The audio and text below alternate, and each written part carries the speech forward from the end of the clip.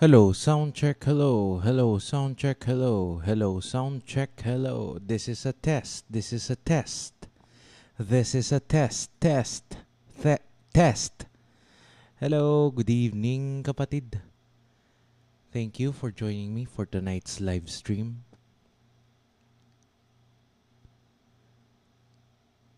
Ayan, this is a test.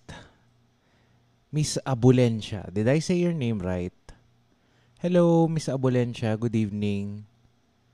Thank you for being here. Loud and clear. Menard, bro, thank you for being here. Miss Alsua, suki ka na. Magre-recite ka mamaya. Good evening, good evening, good evening everyone. Astrid Lace. Welcome, welcome sa ating live stream tonight. Good evening. Ayan. Do I sound like the the normal audio ng channel? Hello, sound check. Hello, hello, sound check. Hello. Good evening, Mr. Bagayas. Congratulations on your new job. Glad that you could make it on a Friday night. Yes. Sige. Good evening, Regine Ibanez. Hello, Jasper De La Peña. Thank you for being here, bro. Ayan. Tonight's episode is the detailed guide on how to study cases. Sa prototypical na law school uh, subject, you'll receive anywhere between 12 to 25, minsan 30 to 45 cases per per meeting. Yes, first years. Salamat, nandito kayo. Yan. This episode is actually for you. First year legma, wow. Thank you for taking the time to watch this. So, live na naman tayo. I'm going to walk you through how I read cases for law school. I'm going to show you how to remember cases and how to be confident when you're reciting your cases. Hello kapatid, Miss Estos. Glad that you're here. Miss Oligario. Ayan.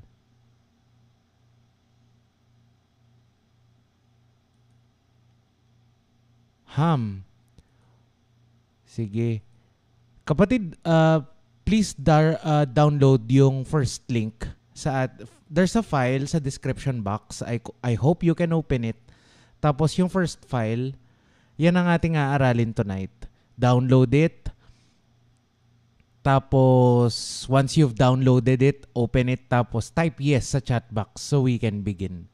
Kung meron na, downloaded na while I'll throw I troubleshoot a few a few more issues. Sige, wait lang ha. Diyan lang kayo sa live stream, chat lang kayo diyan. I think there's a problem with OBS tonight. OBS is not playing nice. Hence, why we're late.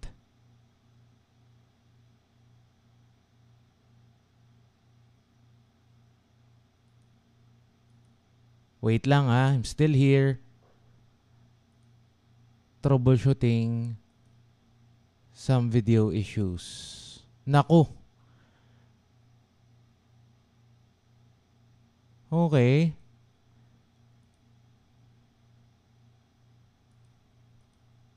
I'm getting a few warnings from YouTube. Parang the stream isn't healthy. Something to that effect. Please check the video resolution. Blah, blah, blah. Masyado na siyang technical. Hindi ko na siya naiintindihan. Sige, present, present, present. Download na kayo ng ating reading. Tas we can start. Shout out me Kim Gelasio. Ayan, may shoutout ka na kapatid. Ang ang complicated ng yung surname, can't can't say it. I'm afraid to say it. So, uh, let me call you Kim, bro. Yan.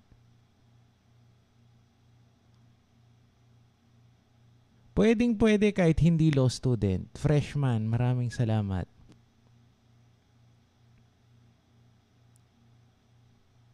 Twenty-four cases sa stat ko, not 25 sa consti. Welcome to the terrible, terrible place we call law school. Sige, downloaded na ba? Downloaded na ba? Can we begin? Can we begin? Hindi ka pa late, Eri. Hindi ka pa late, bro. OBS is not playing nice tonight. So kung kung kunwari ay na-disconnect ako kapatid, wag tayong matarantal, start a new stream, lipat lang tayo doon, ha? Please say yes if you understand. Golbiki. Golbiki. Golbiki. Ayan. US Telegasmin ako, welcome, welcome. Basta if if I'm disconnected ha, wag tayong magpanic, lipat lang tayo sa kabila. download the first file. Actually, if you open the description box, tapos open the description box and then download the first link. Click on the first link, download nyo lang.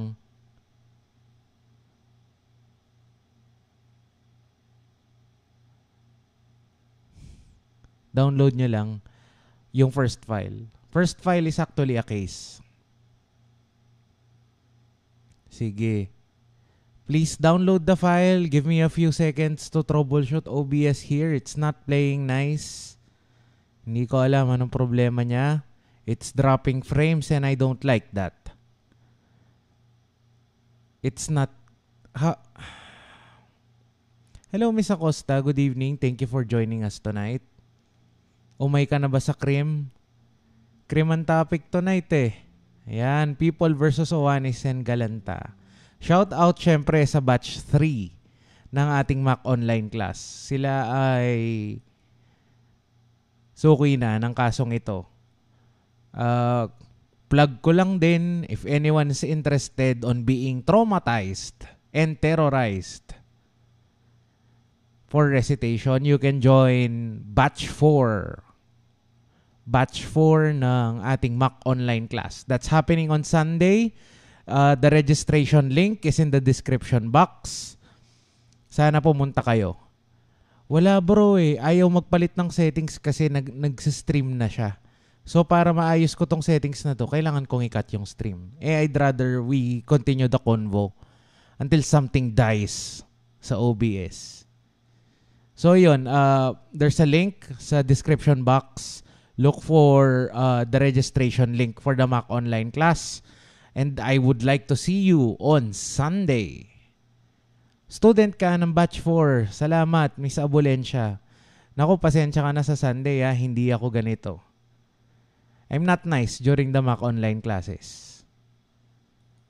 I want you to experience the terrible, terrible place we call law school. Okay na ba? Do we all have copies ng ating materials for tonight? Check, check, check.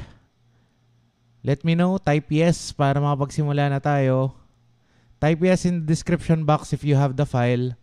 Yung ating handouts for tonight.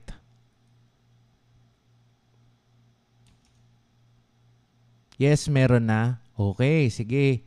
Lipat tayo ngayon sa ating presentation. Ang ating handouts. Ayan. Pareho ba tayo ng binabasa mga kapatid? What's the first line sa inyong handouts? Nung first line. Nung nakasulat sa inyong mga handouts. What's the first line? Hello, Miss Sheila Rivera. Good evening. Maraming salamat at nandito ka. Owanis versus Galanta. Ay, sorry. People versus Owanis and Galanta. Yan ang aaralin natin. I want to walk you through how I read cases, how I try to study cases, and how I remember cases. Okay? Yan, same, same, same, same, same tayo. Sige. Okay.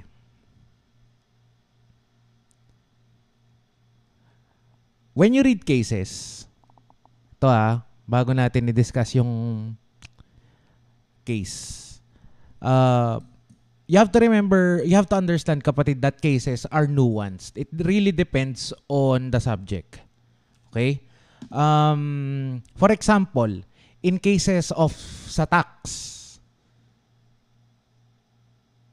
parenting and law school na ko, Miss Kaparas, malapit na tayo dyan. Yan. Thank you, Moonshine. Parang ganito. Their cases are nuanced. They're uh, they follow uh, roughly the same patterns per subject. For example, in cases of uh, tax, it's always the case between uh, the taxpayer and the ta- taxing authority. So it's usually taxpayer versus BIR or BIR, commissioner versus uh, say uh, YouTube couple who shall not be named. Yan, kunari ganyan yung cases. Um, that's what you remember. When it comes to torts and damages, it's usually one uh, one party against another. Sa torts cases, medyo they overlap heavily with criminal law cases. And I'll show you how later. Tapos in an old episode on the kinds of case digests that you have to write for law school, ang example ko doon is, sige, who can remember? Moonshine.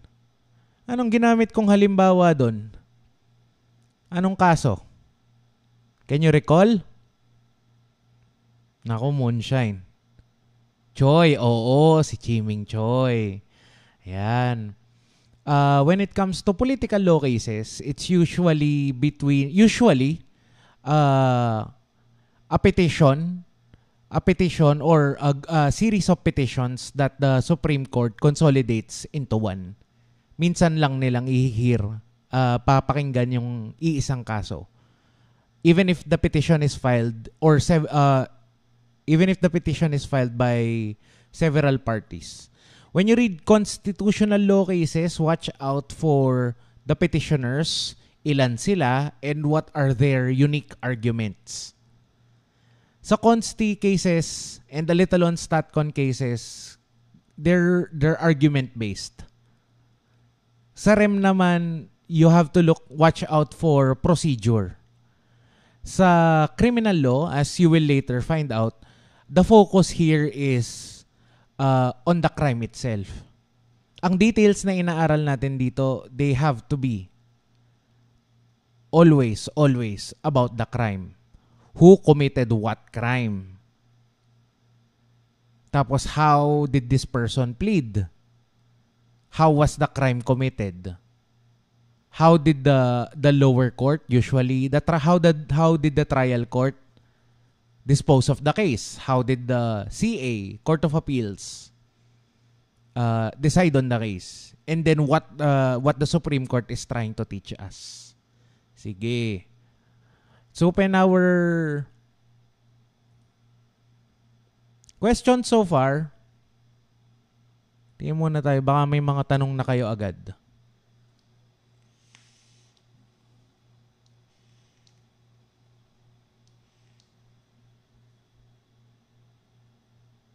Sige. Let's go to our presentation for this evening. Naku, nandito na naman tayo sa dark mode. Na ituro na sa akin to a night, two nights ago eh. Let me see if I can remember how to turn this white. Punta daw ako sa view. And then, switch modes. Ayan, now we're seeing it in white. When you look at a case, it's usually uh, the heading, the citation of the case, GR number 47722, July 27, 1943. GR number represents the number sa docket ng Supreme Court. The date usually corresponds to when the decision came out. Tapos, kapag ang unang pangalan na makikita nyo kapatid ay usually a surname, comma, J. What does the J stand for here? What does the J stand for here? Alegre. Alegre. I'd like to call on you, Mr. Alegre. Ano yung sabihin ng J dito? John? Jonathan? George? Jumper? Justin? I'd like to hear from Mr. Alegre. Puro kayo coaching eh. Justice. Correct.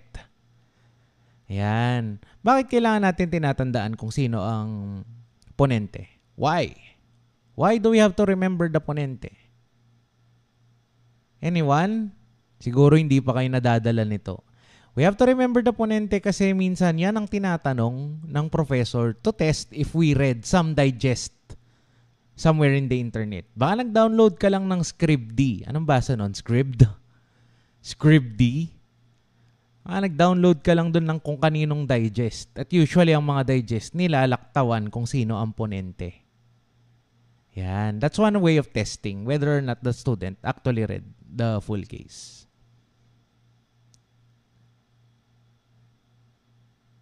Sige. Tapos, step 1, how do we read cases? Any case, any case. Rem man yan, consti, crim, ethics. How do we read cases? What's the first step? Kanina may sumagot na ng first step eh. Moonshine. Wala. Alsua. What's the first step? By the way, kapag uh, I will from time to time I will uh, reference a video I made. It's the kind of case digests we have to do in law school. Um, ang link sa episode na yon makikita rin sa description box. Hindi ko naman masabi sa inyo na pre-rec siya. Panoorin nyo muna. Hindi. We're here. We're discussing this. Let's do this. Check your syllabus to know the concept your professor wants you to learn from the case. Correct. Correct. First step yan. When you read the case, you have to read it in a particular context. The context here you can find on where the case appears on your syllabus. For example, noong time namin, People versus Oanis and Galanta, it was uh, assigned to us under four subheadings. It's Article 4, tapos Article 11, Paragraph 1, and Paragraph, Paragraph, anyone? Miss Rivera, are you here? Maravilla. Wala. Oh. Wala, wala sumasagot. Obedience of a lawful order of a superior. Assume natin na itong case na ito is now assigned to us under the subheading yan. Thank you, Mr. Putungan. Partida pa yan ha. Masakit ulo niyan pero nakasagot siya. Ha? Lawful duty. Yan. Baka naman sumagot kayo in real time tapos delayed lang tong stream. Kaya hindi ko ka agad na recognize. Thank you for your correct answers. Yan, let's assume that this is, this case is now assigned to us under justifying circumstances. Paragraph 1. Sige. Sige. How do we read the cases? How do we read the case? Game Moonshine, total, ikaw rin ang nakabasa. Ngayon alam natin na ito ay assigned to us under Article 11, Paragraph 1. The following are the justifying. Sige. Read the decision. How? How do you read the decision, bro? Read the decision. Read the decision. Kapatid, the decision here refers to this entire document. So you're telling me I'm supposed to read the next 15 pages dire-diretso? Alin? Which part? The end of the case? The end of the case. Is that correct? Do you agree, Ms. De Guzman? Dispositive portion. Correct. Let's skip to the dispositive portion. Yan. Ano kaya ang ending ng kaso na to? Scroll down natin todo. Yan. Makikita natin dito. Last sentence. In consequence, it can be stated that no bullet fired by Galanta did ever hit or kill Serapio Texon, and therefore there is no reason why he should be declared criminally responsible. Dit nga natin to. Criminally, res- criminally responsible for said death. Is that the end of the case? Is that the end of the case? Is that the dispositive portion? Ito ba? Ito bang binasa ko? Is this? Wait, lipat ako ng pen tablet. Is this is this the dispositive portion of the case? Tingin tayo. No, De La Cruz. Why not? Why is this not the dispositive portion portion of the case? Why not? Mr. Bagayas, why is this not the dispositive portion? Dissenting opinion na po yun. Thank you. Thank you, kapatid. Don't just mindlessly scroll down to the very end of the case. This could be pro- this could probably be a dissenting opinion. Correct. So, let's go back a few pages. Tignan natin. No kaya dito ang dispositive portion? Uy, dissenting nga si Hontiveros J. What does the J stand for here?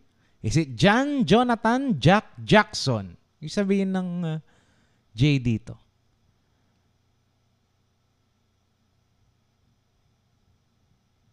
Sige. Balik pa tayo. Paras J dissenting. Okay. This is the dispositive portion, kapatid. Yan. It's called dispositive portion because it is the portion where the Supreme Court actually disposes of a case. Hindi ito ang portion kung saan nila sinusulat ang mga hot potato.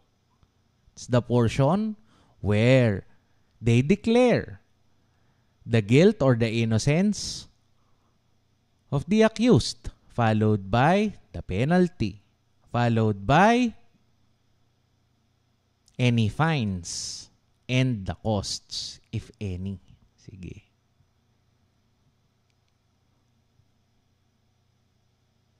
Why? Why do we have to read the dispositive portion for, first? Why? Justice Botor. I like your name, kapatid.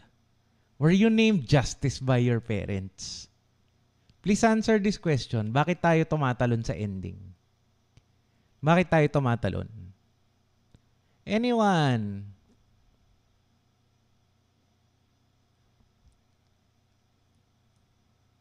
Anyone? Bakit tayo tumatalon sa dispositive portion? To have a general overview or guide to the whole case? Hindi ba ito makukuha sa syllabus kung ikaw ay nagbabasa ng ISKRA? ang general overview or guide to know the relevant facts so we know what we should expect. Tama, Valerie. To have a generator knowledge. Sorry. To read with a purpose. Correct, Miss Oligario. Plus 5. To know where to focus on the case. Correct. Duran.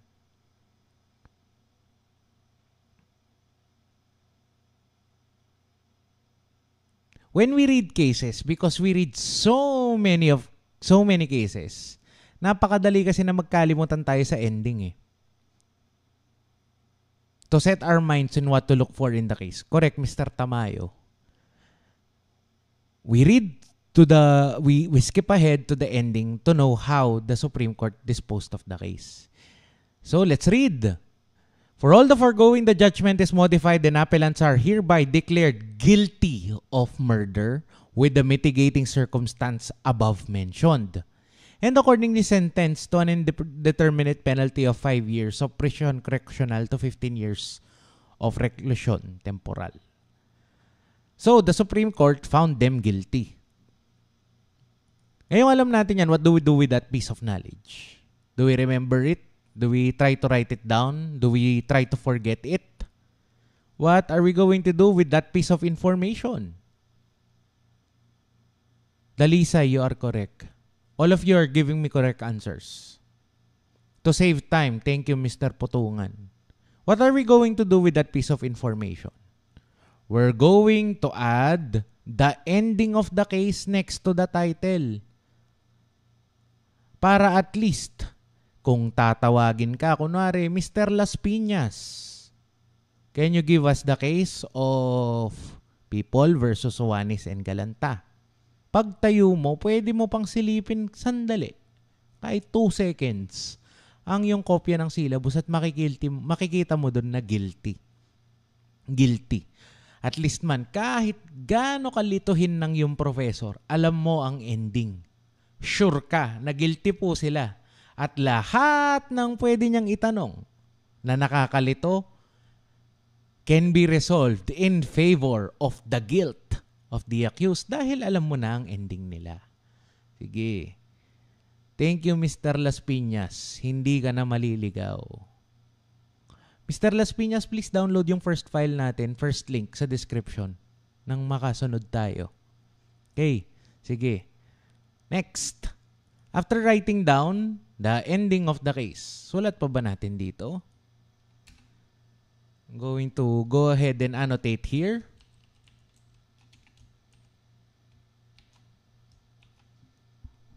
Pero pwede nyong, uh, during my time, I usually did this sa aking syllabus. Paper lang. Pero sige, for our purposes, lagay natin na guilty siya dyan. Sige.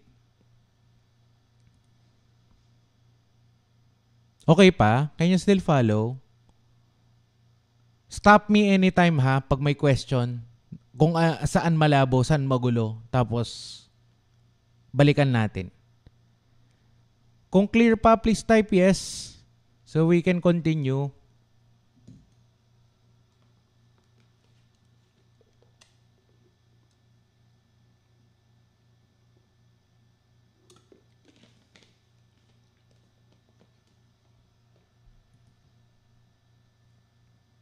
Thank you. Ayan. Malinaw pa naman pala. When it comes to criminal law cases, or most cases, at kapag nagda-digest na tayo, our the thesis statement of our digest, I'm showing you how to read cases ha, but I'm also overlapping this with the lesson on how to digest cases. Probably we can talk about how to write digests next week. Sige. Yan na lang topic natin next week. Pero for now, I just want to show you how I read cases. Sa simula ng kaso, there are a few essential facts in every case. As a general rule, ito yung kailangan mong masagot. Who filed the case? What was the case about? Why was the case filed? How the case was resolved.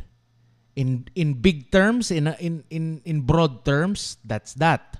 Who filed the case? Against whom the case was filed? Why was the case filed? And how it was resolved. Pero pagdating naman sa criminal law, medyo may nuance 'yan. You have to understand yung context nito. In all criminal cases, it's always going to be the people of the Philippines versus the accused. Bakit nadamay ang, ang people of the Philippines? Sino sa inyo nanonood ng series sa persons? What's the basis? Misal Suwa, wag mo nang bunutin yung sagot mo. Itira mo yan. State prosecutor not responsive. Question here is why? Why is the people of the Philippines involved in every criminal case? Why?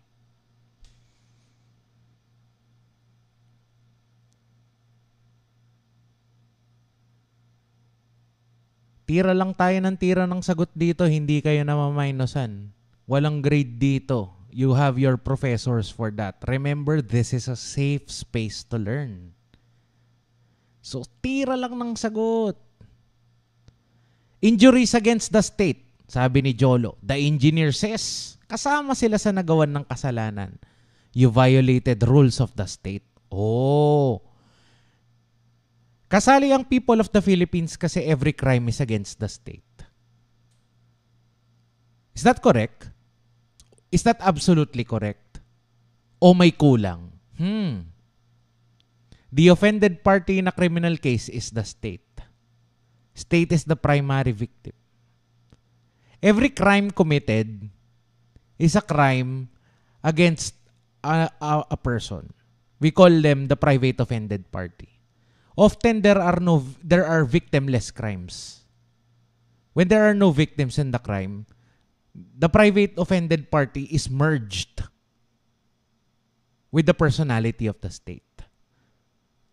Kasalanan sa ating lipunan ang bawat krimen. You, are, you guys are all correct. Sa crime against the state. O yon, Miss Rabano, liability is two parts. One against the state and the private proper private party. Correct. Correct. Yan. Violated peace and order? Pwede. Let's accept that. Sige. Okay, in this case, I'm going to give you 15 seconds to find out the names of the people who were who are accused. Sige, sino ang akusado sa kasong to? In, sa criminal case, ang nuance niya, who are the accused? What was the crime charged? How was the crime committed? How the trial court and the the CA resolved the case, how the Supreme Court resolved the case. Again, we're reading this in the context of uh, Article 11, paragraph 1. Yan, very good. Good answers. Defendants, nako. The correct answer is Juanis and Alberto Galanta. Sino sila? Who were they? Are they clowns? Are they movie stars? Are they YouTubers? Who are they? Who were they in our story? Anong katungkulan nila sa lipunan? Sila ba ay mga medical frontliners? mga tech support people, sila ba ay BPO employees na naglatag ng kanilang ng credit card details ni customer? Sino sila? Ah, they are police officers. Sige. Yan. They are police officers. Anong katungkulan nila? Hindi, bago yon. Ano muna yung crime na chinarge sa kanila?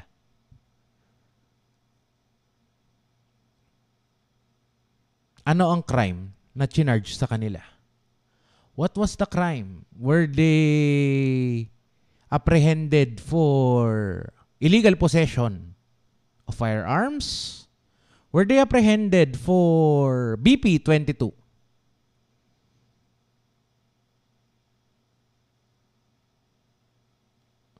Nung crime nila,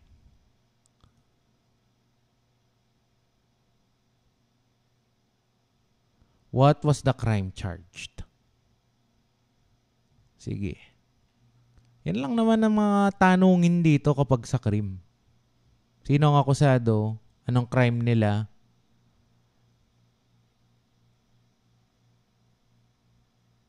Tapos we answer the question. Sige. Nasagot na natin the accused, Juanis, and Galanta. Let's highlight that. They are part of the Philippine Constabulary. Anyone here who knows? Kasi pwedeng, pwedeng pwede na may mga professor kayo na mangtotrol.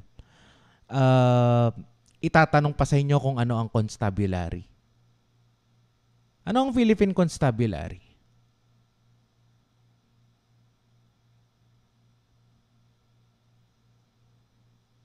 Ano ang Philippine Constabulary? Naku, when you're reading this and you see and you see foreign words, foreign concepts like Philippine Constabulary, napakadali kapatid sa inyo ang magbukas ng bagong tab. Command T, Command T, and then Google that. Ano ang Philippine Constabulary? Ah, Mr. Las Piñas would like to answer. The Philippine Constabulary is the old name for PNP counterpart ng PNP noon. Yan. Old name, former term, good. Good. All of those are good answers. Paano kung tinanong pa kayo? Are you sure? Aninindigan ba natin yan? Anong basis? What law changed the name of the Philippine Constabulary to PNP? Nako. Isasagot ba tayo doon? May bala ba tayo doon? Mr. Dultra. Bala ba tayo dyan? Kung tenroll tayo ng prof. Na bago na ang pangalan.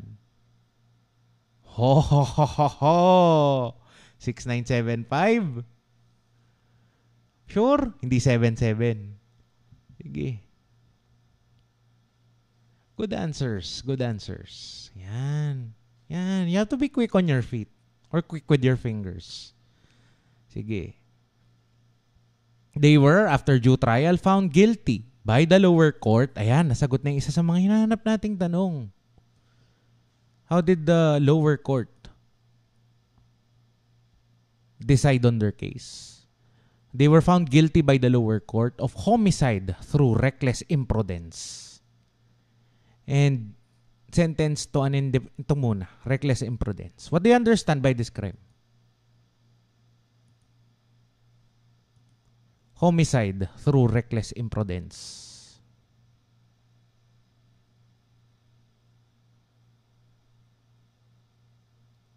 What do you understand by homicide through reckless imprudence? I'll give you 15 seconds to think about your answers.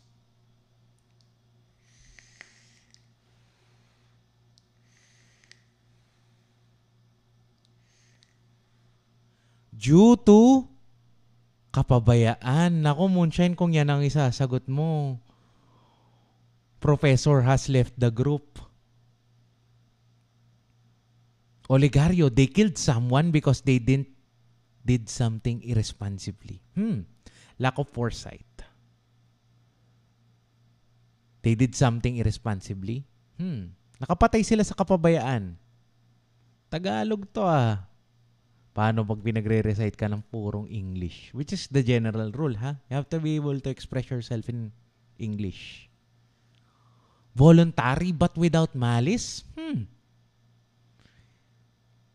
Killing of one person without the intent. So, inaksidente ba? Is it, is it aksidente? Would you say reckless imprudence pertains to aksidente? Yes or no? Aksidente ba siya? Would you say it's aksidente?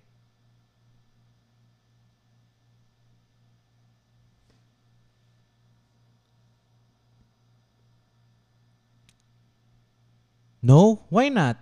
Kasi inaccurate. Kulang kung sasabihin mong aksidente lang.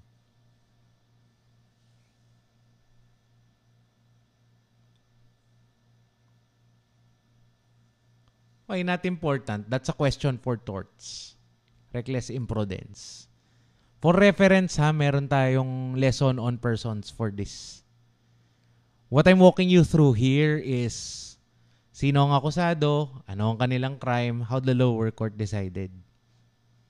Tapos, here. Here uh, lies the rub. When you think uh, when you talk about criminal law cases, laging may two versions 'yan. There's the version given to us by the prosecution and then another version given to us by the defense. Sige, let's read. Hindi ito katulad ng ano ng pagbabasa ng kaso, hindi siya tulad ng active reading na diniscuss natin two nights ago. You don't have to find just one paragraph, one important fa- paragraph. Ayan.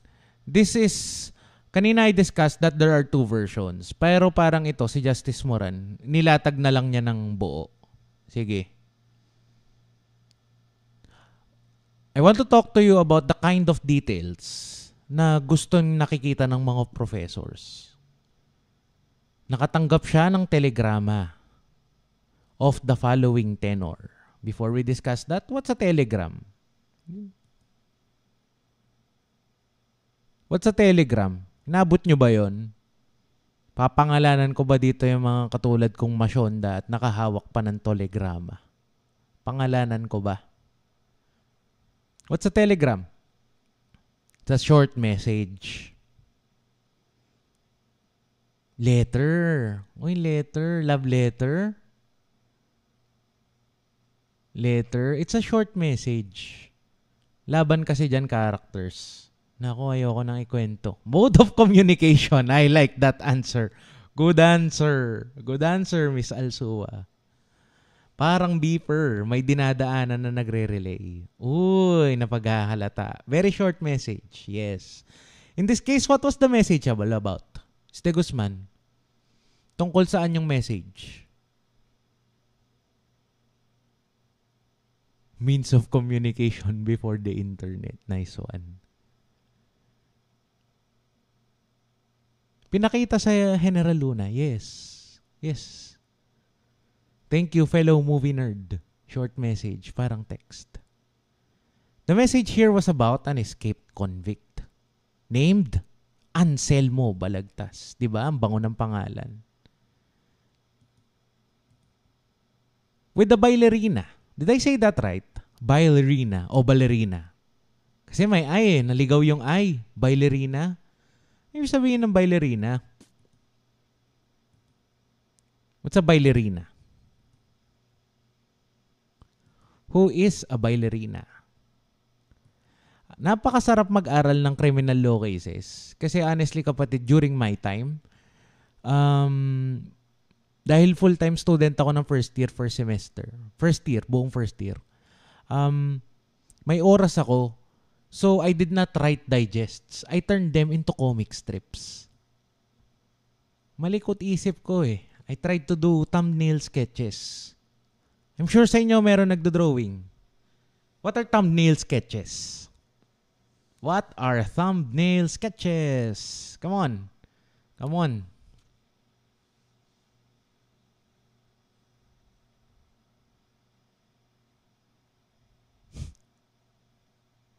True Crime Podcast.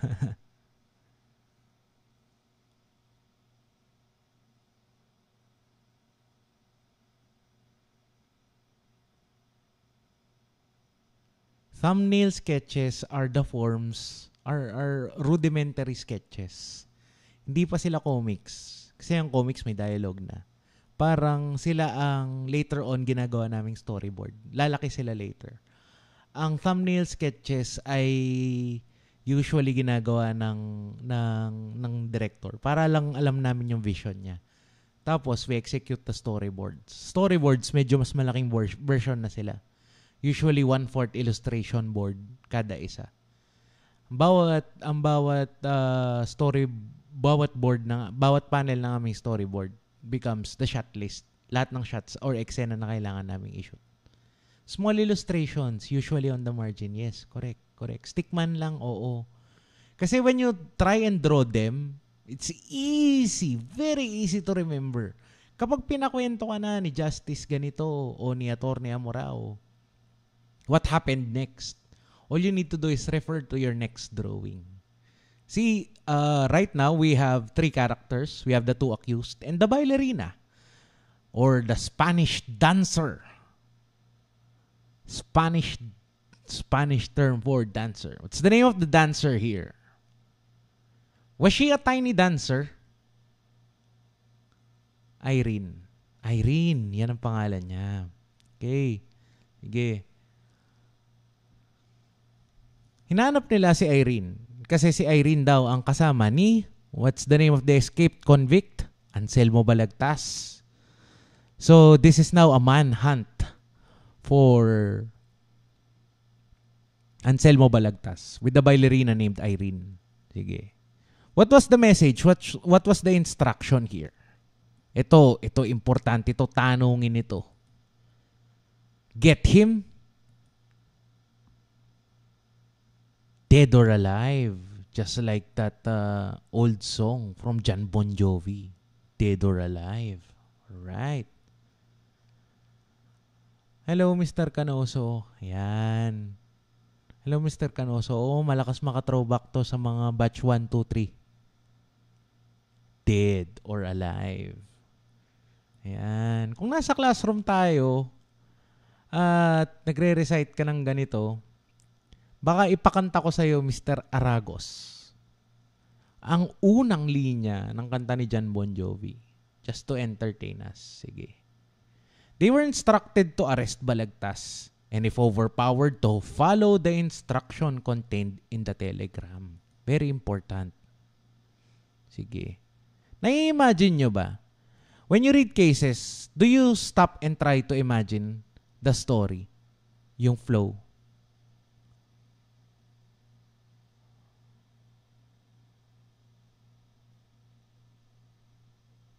Do you try and imagine yung flow nila? Do you try to visualize? Kasi visualization will help you. May, may nai-imagine mo sila. Lalo na kung gumagamit ka ng mga stock characters na katatawanan. Kunwari, ikakast ko na si Juanes at Galanta, siguro si Peter Griffin tsaka si Joe. Joe Swanson. Yan. Mas memorable talaga eh. Ano mga mukhang bleep sila. Yan.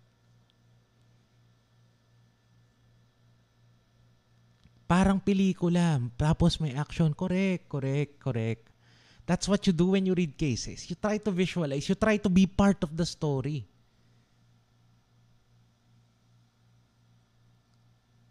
tama. When you when you read cases, the best way to remember them is to try and, and make the movie in your head.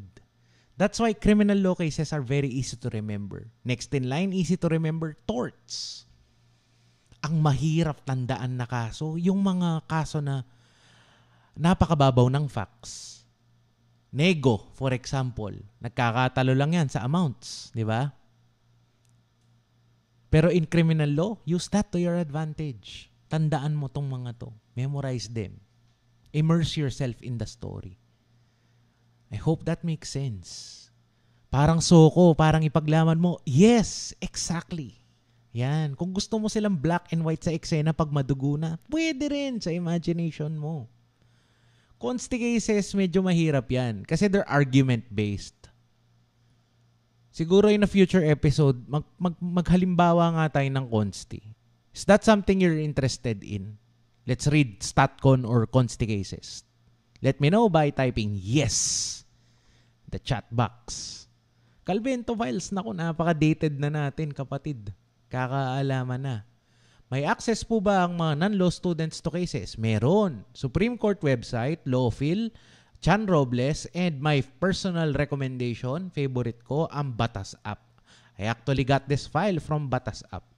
Shout out sa kanila, helping law students for long, long time now. Yan. Sige. Okay, they were instructed to ay, they were instructed to arrest Balagtas and if overpowered, follow the instruction contained on, in the telegram. Yan. Tapos daw, naglakad sila. Owanis, who was likewise called by the... Uh, when the chief of police was asked whether he knew one Irene, abay Lerina, he answered that he knew one of loose morals of the same name. Si napaka-polite ng ano, napaka-polite ng Supreme Court. Napaka-polite. Lalo na tong mga kapanahunan na to. Why call them uh, woman of loose morals? What does that mean? Loose morals. Kulayan nga natin. Sorry guys. Have to lipat ako. One, he knew one of loose, loose morals of the same name. Baka kasi i-troll ka ng prof mo at hindi mo alam ano ang loose morals. Sex workers na agad? Hmm. Prostitutes? Di ba masyadong harsh yan? Babaan natin konti. Di ba pwedeng mga malandi lang, ganon? Havellana versus Executive Secretary, I like that case. I read that case on one Saturday night with four cans of beer. I love that case. Sexually promiscuous. Pwede. So, tiktokeris siya, ganon. Functionally. Biuda? Hmm. Batas app is free to download hanapin nyo siya. It's Batas app. It installs on Windows. It does not install on Mac, pero madali siyang gamitin kapag nasa Mac ka. Pariwara. Hmm, pwede. Pwede. Okay, moving on. Exotic dancer. Yan. Tried to locate some of his men to guide the constabulary soldiers in ascertaining Balagtas's whereabouts. And failing to see any one of them, bakit kaya wala siyang mga backup? Provincial inspector divided the party into two groups with defendants Owanis and Galanta and private Fernandez taking the route to Rizal Street leading to the house where Irene was supposedly living. So ilan sila?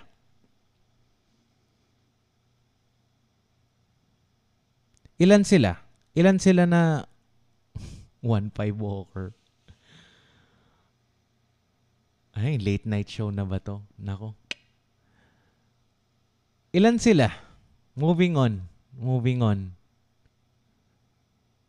Moving on. Ilan sila na magta-try na mag-effect ng arrest ni Anselmo Balagtas?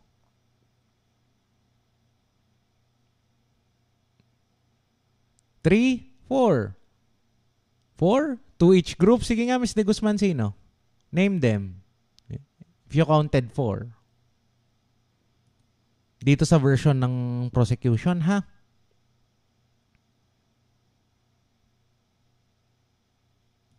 Highlight natin to. No, no, no, no. And failing to see any one of them, he volunteered to go with the party. Two groups, Defendant Solanis and Kama, nako, eh, Oxford Kama, and Private Fernandez taking the route to Rizal Street. Leading to the house where Irene was supposedly living. Sige. When this group arrived at Irene's house, Owanis approached one Brigida Malyari. Did I say her name right? Is it Brigida Malyari? Re? Sige, nakita siya. Key witness siya for the prosecution. What was she doing? She was then She was then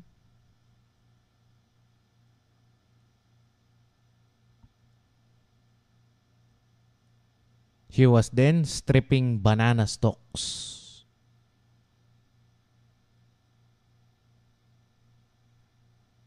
So why would someone strip a banana stalk? Anong purpose? Imagine ko yan nung first year ako. Naisip ko, para saan kaya yan? Para daw parang wala kaming ganyan sa probinsya namin.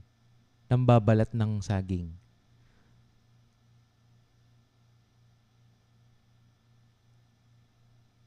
Probably for some other useful activity siguro, no? Anyway, wala siya sa aking thumbnail sketch. Panglinis ng bahay? Really? Paano? Sa aking thumbnail sketch kasi parang ginawa ko na lang para siya nagsisibak ng kahoy. Ulam? Wala? Inuulam ba yun? Good answer. Scary answer actually. Sige. Brigida indicated the place. Yan. Nai-imagine nyo ba kapatid, parang yung cameraman sinusundan si Brigida na pwedeng itinuro yung kwarto gamit yung bolo hand niya o pwedeng ngumuso lang siya. Sige, paano ba treatment nito? Ano na? Paano ba? Baka gagawa ng suman. Good answer. Sige. Paano ba treatment natin dito? Paano nyo ba siya gustong imaginein? Para bang criminal minds na medyo mabilis ang editing, fast cuts, tapos handheld camera, shaky. O gusto nyo na parang probinsyano, lahat, everything is a sunny day. Ganun ba? Sige, ngumuso ba siya? O ginamit ba niya yung bolo hand niya to point? We use it for cooking manok and beans. PM mo nga ako. Is Gallego. Usapan natin yan mamaya. I'm honestly, tuhugan ng barbecue. Pwede. We use the, uh, yung katawan ng saging. Pantayo ng mga hotdog at marshmallow for birthday party. Gamit ang bolo hand. Yan, nas na-imagine natin. Sinabihan kaya siya ng ating mga accused. Quiet ka lang. Nagpakita ba siya ng did they place one finger on her on on on their lips to indicate na quiet lang at papasukin nila itong uh, wanted criminal named Anselmo Balagtas. Sige. Defendant Suanes and Galanta then went to the room of Irene. Sugod sila. Ano ba to? Pulis patola ba tong mga to o medyo seryoso? Yung mga pasandal-sandal pa sa pader. Sa sisigaw muna ng clear. In your imagination, kapatid, Tingin nyo ba pulis patola to o seryoso? Give me your answer. Sige.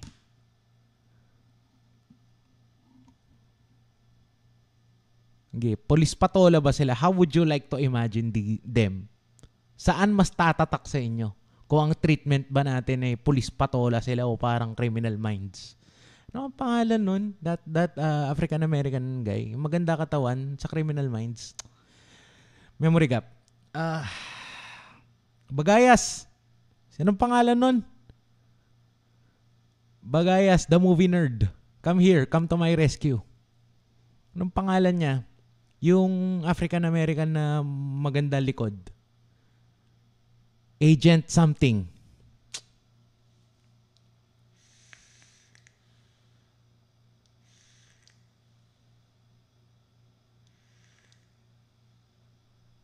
Hala. I think I think ang pangalan niya, yung kalbo, I think pangalan niya Morgan. Tama ba? Basta, yung magandang likod. Sige, paano natin siya i-imaginein? Sila ba yung mga pulis patola? San sila mas tatatak sa isip natin? Siguro patola na lang. Imagine natin dalawa silang mataba. Hindi si Will Smith, Eunice. Shemar Moore, yes. Derek Morgan, plus 5, Castro Verde. Thank you, thank you. Yan. Nguso sabay turo ng itak. Very good.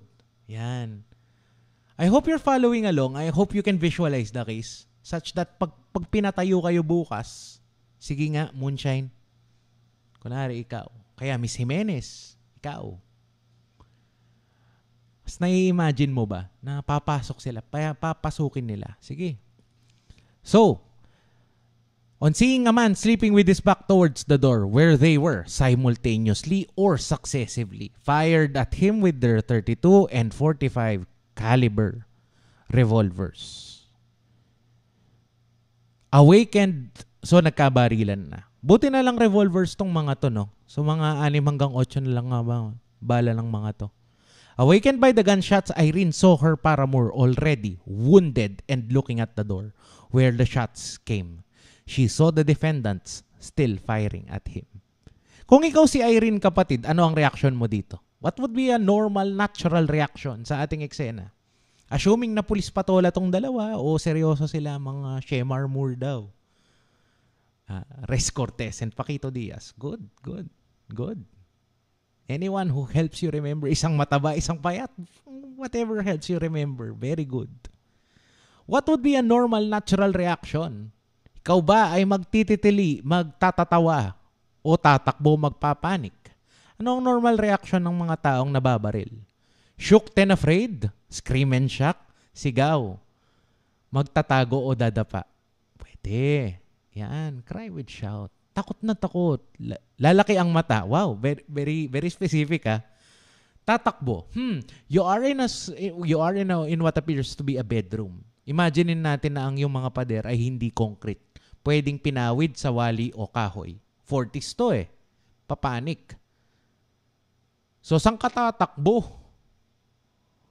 Like, wag, tama na, with iyak and push. Paano ka magpo-push? Kim, eh may baril tong dalawa. They continued to fire their pistols. Freeze and panic. Tatakbo, tatalon, sisigaw. Nice. Funny yon. Funny yon, Miss Ratilla. Bigyan siya ng plus 5. Muntik na akong mapakanta nun. Muntik akong mapatawa. Ay, mapakanta. Thank you. Freeze. Cover my ears and curl in the corner. All very good answers. So long as you remember. Sige, sa imagination kasi natin, si Irene ay may kagandahan tapos, imagine na lang natin mga mukhang mga taga-TikTok, ganun. Sige. Successively fired at him. Tapos si Irene, pwedeng dumapa, gumulong, tumakbo, nagtititili, na, na-shock, sumigaw. Yan. Awakened by the gunshots, Irene saw her paramour already wounded and looking at the door where the shots came. She saw the defendant still firing at him. So pwedeng, ah, tama na, tama na. Pwedeng ganun. Shocked by the entire scene, Irene fainted. Oh, yun pala. Di natin na-consider yun mga kapatid. Pwede pala siyang mawalan ng malay. Ha? None of you wrote that, mawalan ng malay. She fainted.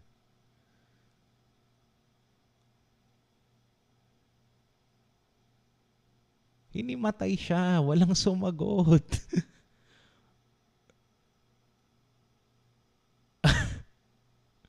Walang sumagot nun. Funny Moonshine. Ayos to bro. Sige.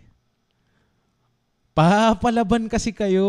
Oo nga naman. Very good. 15 seconds. Hydration break. I-consider nyo yung decision yung maging palaban.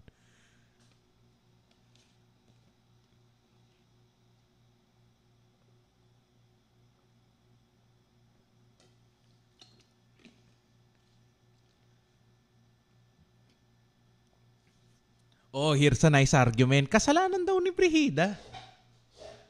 Kasalanan ba niya o natakot lang din siya sa mga pulis? Hmm.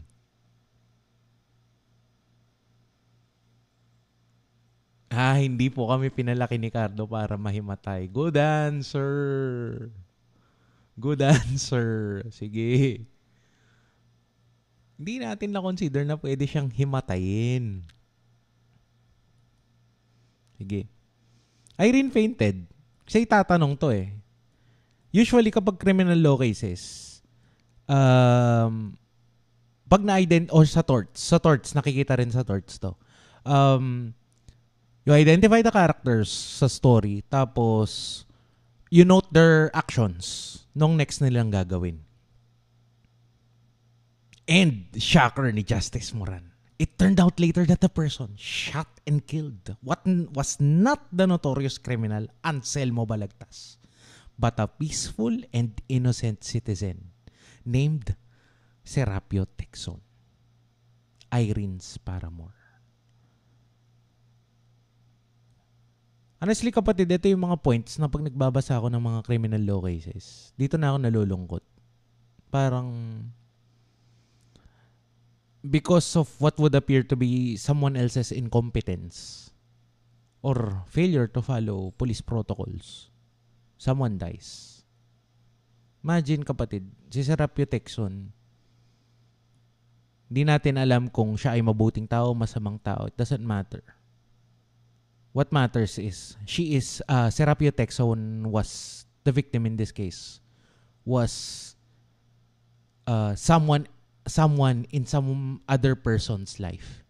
Pwedeng si Serapio ay kuya para sa kanyang kapatid na Serafin, na si Serafin.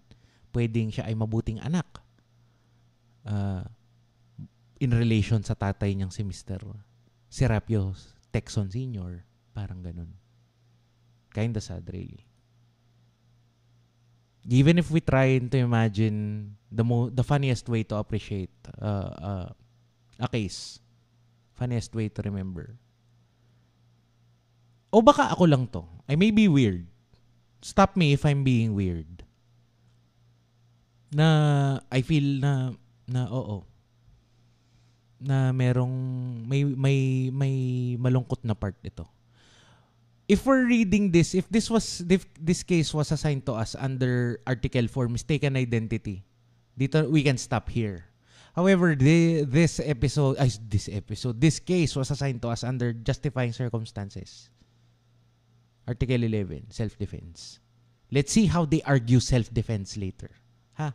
Sige. For now na nawalan na ng buhay si Serapio Texon. Irene's Paramore. What's a Paramore? Bukod sa banda with orange hair or pink hair, can't remember. Who or what is a Paramore?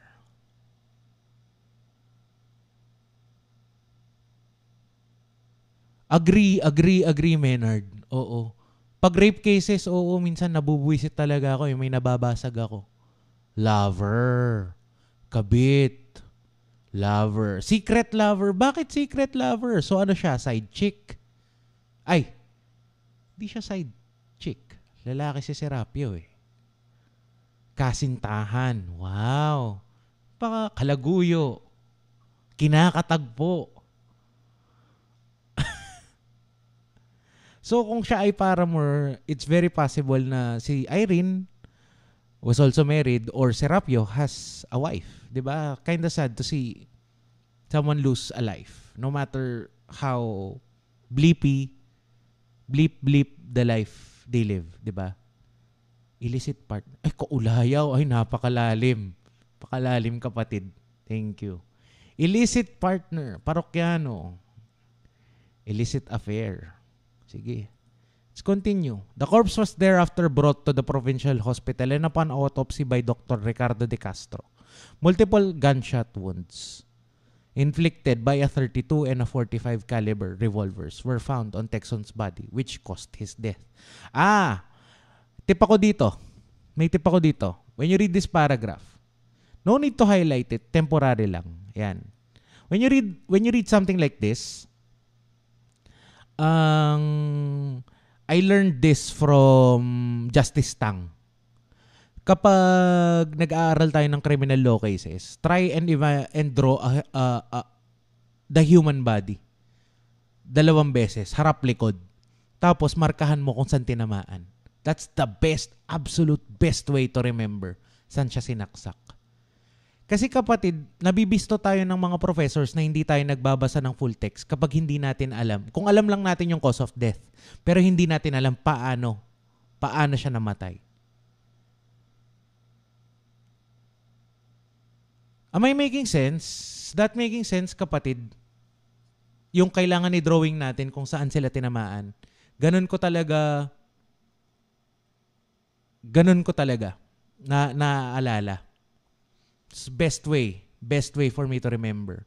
Paano pag stick lang, lagyan mong konting muscle. Or, or dut-dutan mo na lang yung ano. Kung gagawa ka ng stick figure, lagyan mo ng balikat. Yung crossbar ng balikat. Para alam mo kung saan siya sinaksak. Very useful. People versus supplanted. That's how I remember. I hope I'm making sense. Parang yung trace po ba sa crime scene? Medyo. Oo, oo, oo. We learned that from Justice Tang. Kasi yun ang mga tinatanong niya eh. What was the murder weapon? It was a blade, ma'am. How long was the blade? Was the blade sharp? How did you know? Did you touch the blade? Yan. Where did the accused strike the victim? How many times? How deep were the lacerations? Are you sure they are lacerations? Or are they gunshot wounds? Minsan ililid pa tayo.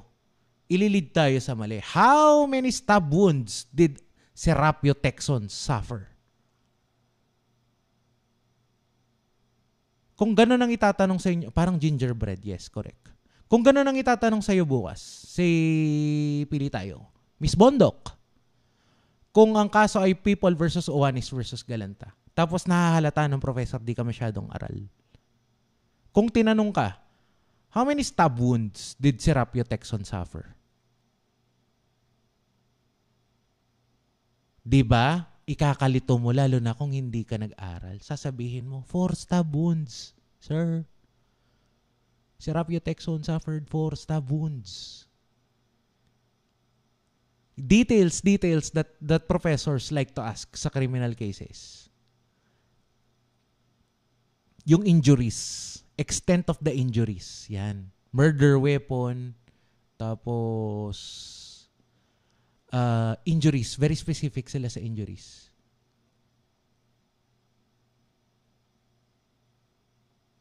Uy, Mr. Cabral, theory lang po at tingin ko po na setup yung dalawa. Pwede. Discuss natin yan mamaya. No stab wound. Correct, Madam Monica. You're listening to the discussion. You've read the case. Serapio Texon did not suffer any stab wounds.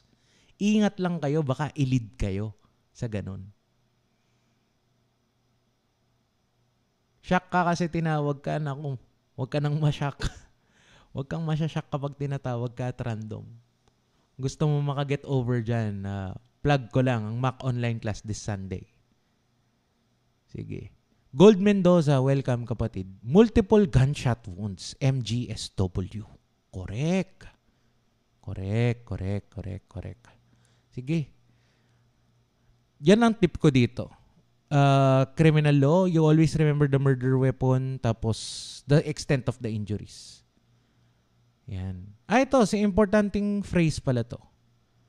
The provincial inspector informed of the killing repaired to the scene. Ano ibig sabihin ng repaired dito? How is the word repaired used in this context? So anong inayos niya sa crime scene? Anong inayos niya? How is the word repaired here understood?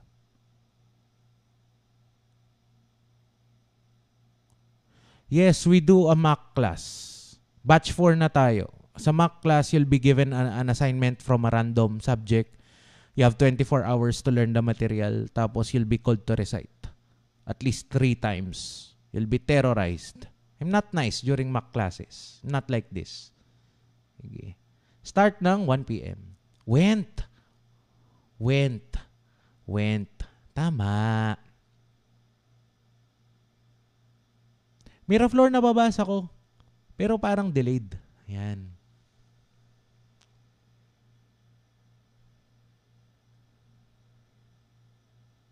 Hindi pwede ang free sit-in sa Mac online class. Unfair sa mga kaklase mo na nag-aral. Hindi ka pala muti sa aming classroom. Parang ganun. Nandun ka, aral ka o hindi, papahiya ka kung hindi ka, muna, hindi ka makakasagot. Araya Floor, registered na. Thank you. See you Sunday. Sige.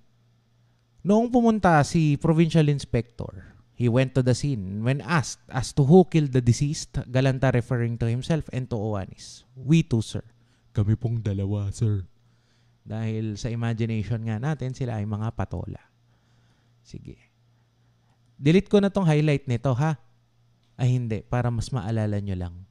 Sige, these are the facts as found by the trial court, fully supported by evidence. Yan. Ayan, nakita na natin ang last name ni Irene. Baka itanong din yan. Kulayan natin. Hindi sapat na alam natin na siya ay ballerina. Ayan.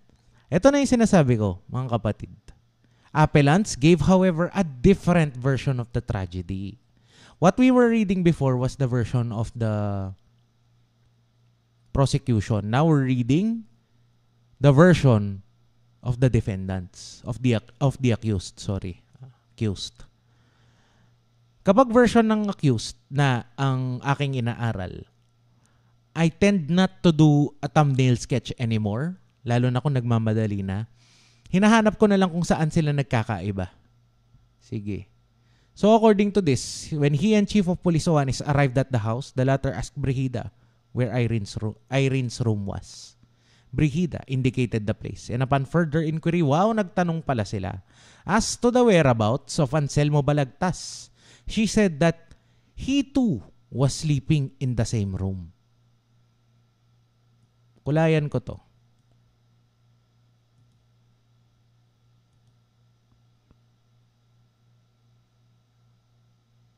Etong version na to, dito na nagkakatalo.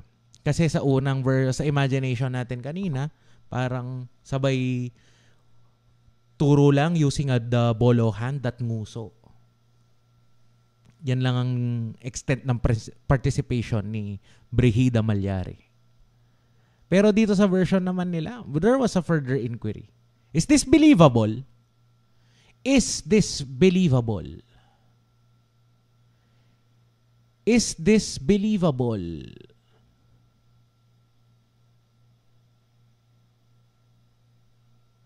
Is this believable? Nako. Hello, Miss Javier. Welcome. Is this believable?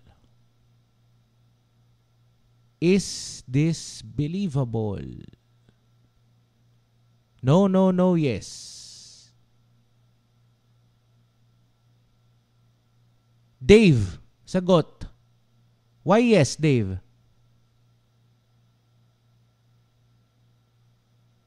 They are the accused. They, it's their job to lie. They would lie to save their asses. Can I say asses sa live stream?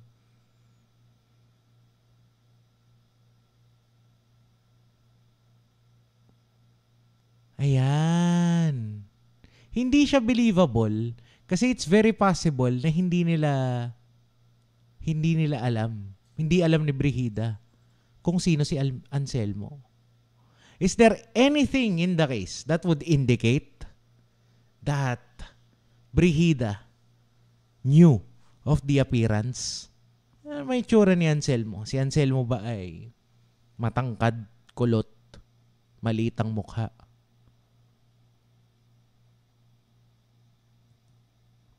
Is there any indication na alam niya?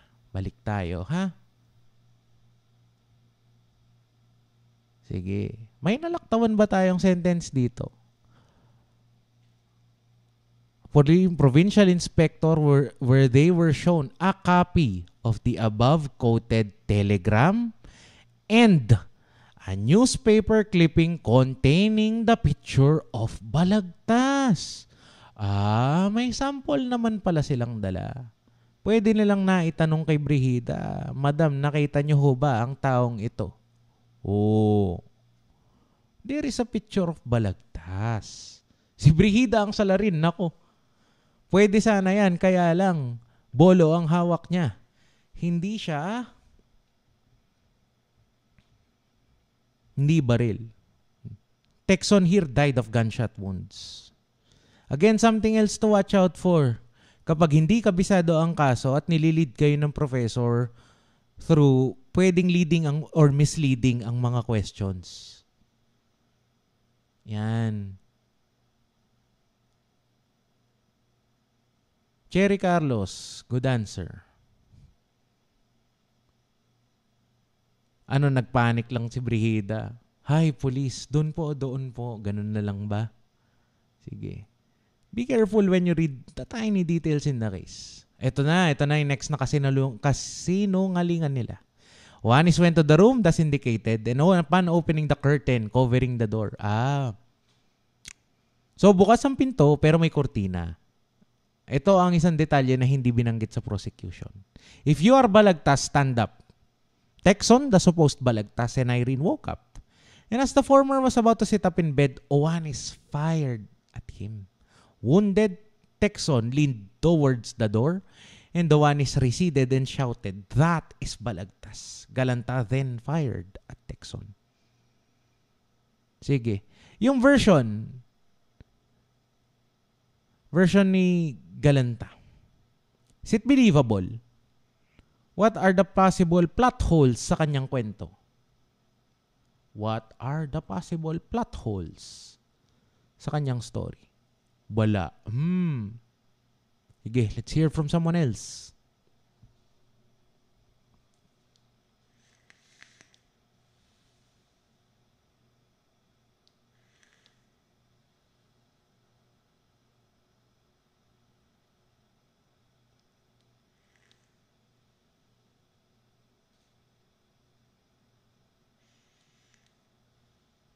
I remember this case when it was discussed to us well, when we were discussing it in class, I had one classmate who said na hindi daw believable ito. Kasi kung sleeping siya, pwedeng-pwedeng pinasok na lang nila. Would you agree on that approach? Is that safe? Anyone here who is a police officer and or in the service, safe ba nagapangan nila ang taong natutulog? Pwede bang malapitan nila bago nila barilin? Pwede ba? Very possible. I'd like to hear someone here who is a police officer. Las Piñas, are you here? Wala na ba?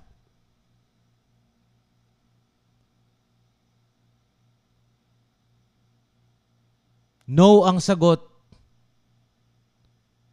ni Officer Cabral. It's not safe na lapitan siya. Why?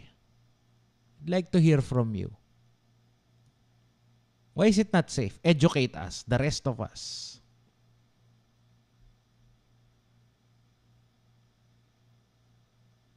Ba't hindi na lang siya ginapangan at nilapitan?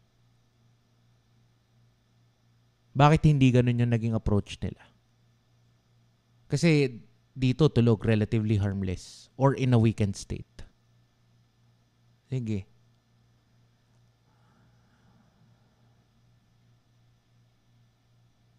Again, there are no right or wrong answers here. Hindi. Oo. Tendency is pwede po magulat ang tulog. And if there is a far, near firearm near o tinatago, pwede mabaril ang mga pulis. Baka may concealed weapon, correct. Correct. Correct. Correct. Sige. Salamat. Thank you for sharing. Di ba? Hindi naman nakakatakot mag-recite. Sige, on the other hand, the one is testified that after he had opened the curtain, consistent naman sila, parehong may kurtina.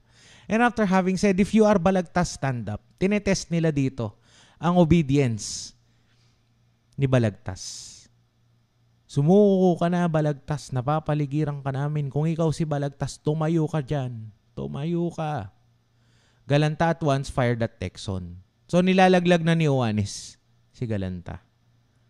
Sa version niya. Na parang si Galanta ay natar- nataranta. Sa kanya niya binaril si Texon. While the latter was still lying on bed and continued firing until he had exhausted his bullets. That it was only thereafter that he, Oanes, entered the door. Wow, hugas kamay si Kya.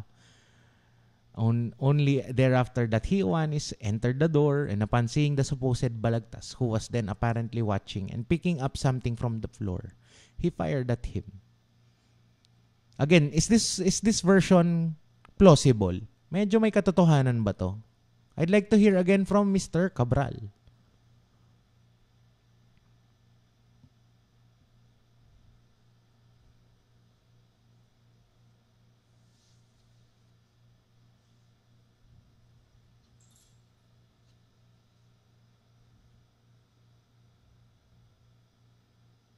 Tingin po talaga setup yan. Hmm, hmm, hmm, hmm, hmm, hmm. Sige. Nagkakalaglagan na sila dito eh. Yan. Let's move on. Move on na tayo to the next paragraph. Pero at least na-visualize nyo naman yung, yung both versions. Sige. Sa imagination ko kasi, kapag version na ng defense, medyo sa imagination nila ay cool na sila. So, ang treatment natin dito, at least sa aking isip, would be to treat them like uh, yung criminal minds. She's Shemar Moore. Medj. Macho, matipunong katawan. He was apparently watching and picking up something from the floor. So sa version nila, this is the 1940s version ng Nanlaban, kunari. Let's put it at that. Sige. Reckless talaga, wow. The trial court refused to believe the appellants. Again, how does the trial court resolve the case? Their testimonies are in, certainly incredible not only because they are vitiated by a natural urge to exculpate themselves of the crime. See? See, the trial court here, kapatid, arrived at the same conclusion that you guys have. Nahugas kamay lang din to. But also because they are materially contradictory. Where's the conflict? Owan is a word that he fired at Texon when the latter was apparently watching somebody in an attitude of picking something, uh, uh picking up something from the floor. Yan ang first. On the other hand, Galanta testified that one shot Texon while the latter was about to sit up in bed immediately after he was awakened by a noise. Yan. Yan ang, ang yan ang nakitang conflict ng ng trial court. Galanta testified that he fired at Texon the supposed balagtas when the latter was rushing at him. Sugod pala tong si Texon. Wow. One is assured that when Galanta shot Texon, the latter was still lying on bed. Yan. It is apparent from these contradictions that when each of the appellant tries to exculpate himself of the crime charged, he is at once belied by the other. But their mutually incriminating averments dovetail with and corroborate substantially the testimony of Irene Requinea. Ibig sabihin ng dovetail dito Command T, search. Dovetail.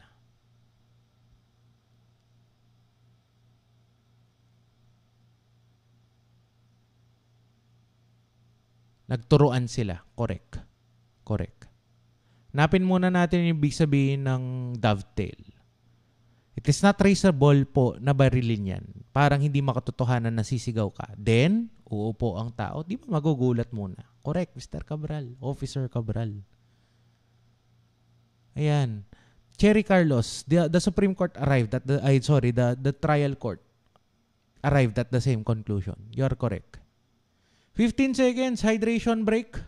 Aralin natin anong ibig sabihin ng dovetail dito. Nagkalayo, tapos nagkita ulit. Is that correct?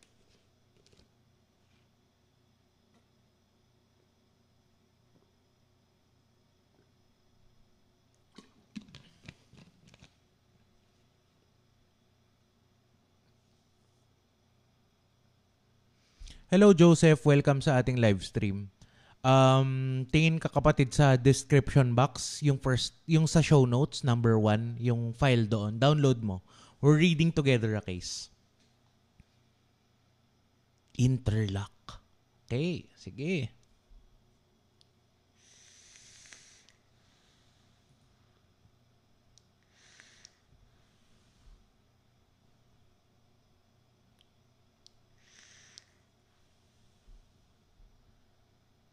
It should be recalled that according to Requenea, Texon was still sleeping in bed when he was shot to death by appellants. And this, to a certain extent, is confirmed by both appellants themselves in their mutual recriminations. Mutual recollection. Juan shot Texon when the latter was still in bed, about to sit up just after he was awakened by a noise. And the one is assured that when galan- galanta to, sorry sa typo, yan ang minsan na makikita nyo sa ano. Bara sa app, meron silang mga typo.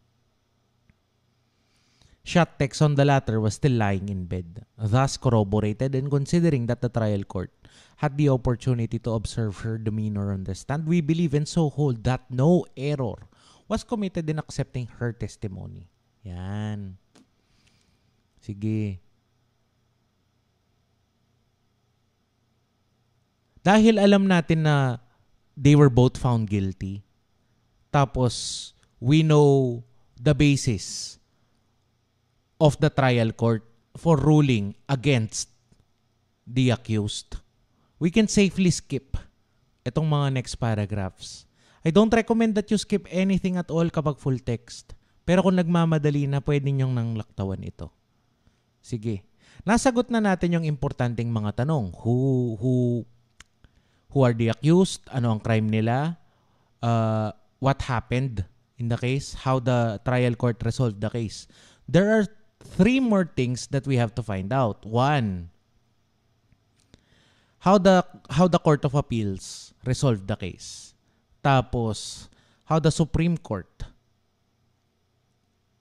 ruled on the case. Tapos, what the Supreme Court is trying to teach us. In this case, in relation to Article 11.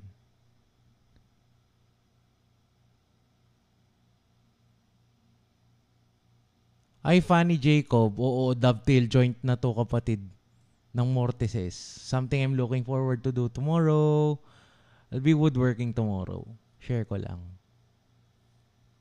Sige.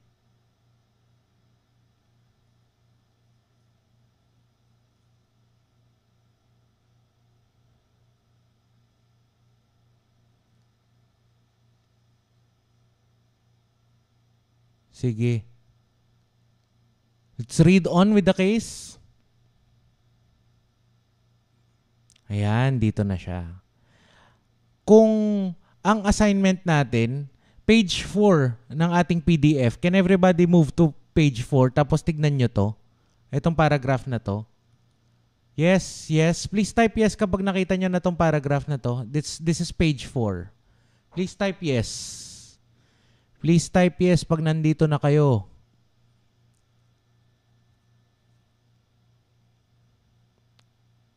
Move to page 4 ng ating handouts. Tapos type yes pag nandito na kayo.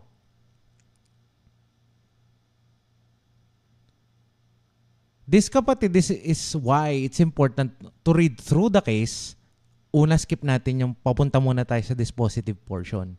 Tapos we always read in relation to what is the assignment. Kung binasa mo tong part na to, tungkol na siya sa honest mistake of fact. Yan ay Article 4. Again, kasayangan ng oras kung babasahin mo pa to ngayon. Kasi hindi yan yung assignment. Kasi ito, inuulit na yung atchong. Yan. Not important for us. Pero kung ito ay assigned under Article 4, ay babasahin talaga natin to. Yan.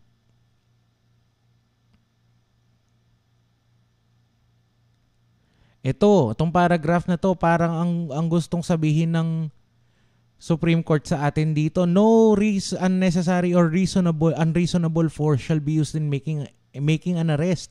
Is this connected to Article 11? Yes, no. Is this connected to Article 11? Yes, no.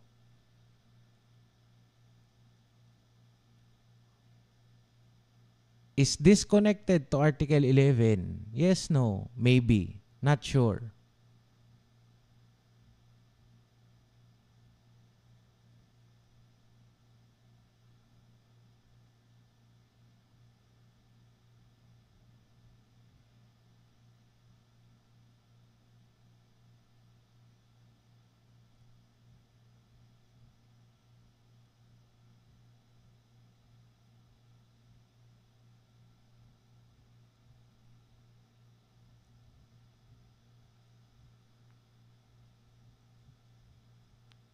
Anyone? Anyone? Anyone can answer. Connected pa ba siya sa Article 11? At Chong's case is different because someone entered his house. Correct. It's not relevant to us. Kung aaralin natin yan in great detail, itong portion na to, doesn't make sense for us. Kasi we're reading this under justifying circumstances. In the performance of a duty, paragraph 5. Sino ba sa nakasagot kanina? Mr. Putungan? I think I remember siya nakasagot nito. Sige, let's take it under Article 11. Sige. How about this paragraph? Yung next paragraph niya. It is however suggested that a notorious criminal must be taken by storm without regard to his right to life, which he has by such notoriety already forfeited. Napakabigat na sentence nito. Ibig sabihin, kapag notorious criminal, he has to be taken by storm. Sige. Is this relevant to the justifying circumstances? Yes, no, maybe. Type. Type yes, no, maybe. Is this relevant? Can we skip? Hindi. Is this relevant? Yes, no, maybe.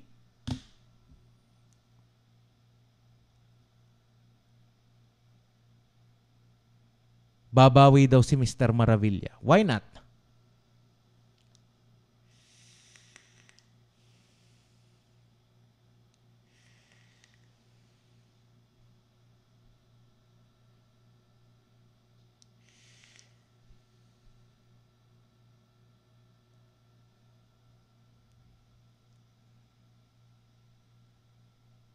Sige nga, can we read through the paragraph? Magsayang tayo ng konting oras.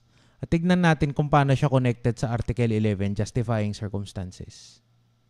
Itong paragraph na to, ah, it is however suggested that a notorious criminal, blah, blah, blah. Magsayang tayo ng oras.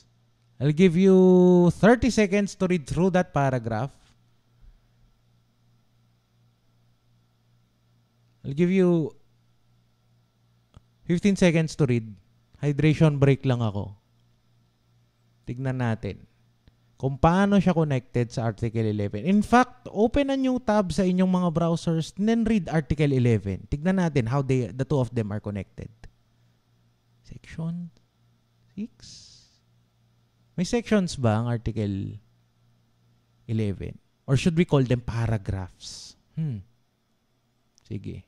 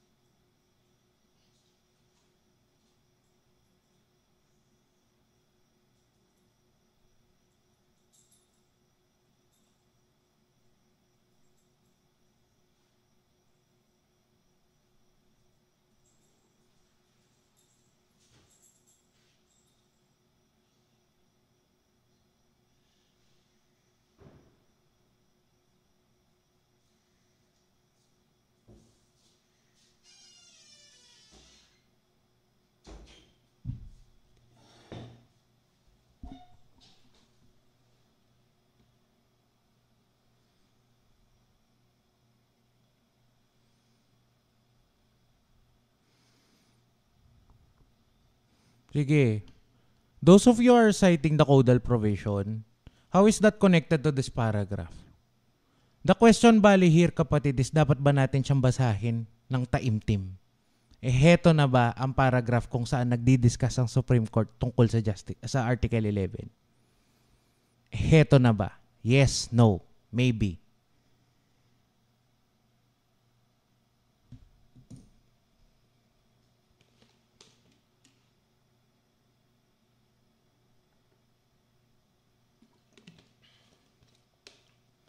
Yes, no, maybe. Ito na ba? Nag-error ba ang aking OBS? Bakit walang sumasagot? Sound, sound, sound check. Sound, sound, sound check. Error na ba ang aking OBS? Hindi ba tayo nagkaka... Hindi na ba tayo nakikita dito, kapatid? Yes, with exemptions. Paano may exemptions? Question dito, not responsive kasi. Ang tanong dito, whether or not Article 11 is connected to this paragraph or this paragraph is connected to Article 11. Not relevant because there is no unlawful aggression. Correct. Correct. Yes, but with reservation, what's your reservation? Madam Monica, sige nga, let's hear from you. Hindi ka naman nag-grade din dito. Hindi ka rin naman napapaya. Nobody knows here. Nobody here knows who you are, where you live, and your reputation in class. It's a safe space, relatively safe space to correct, to to make mistakes.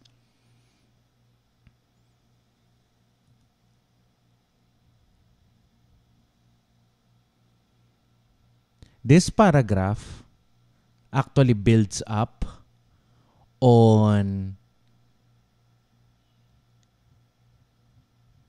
this.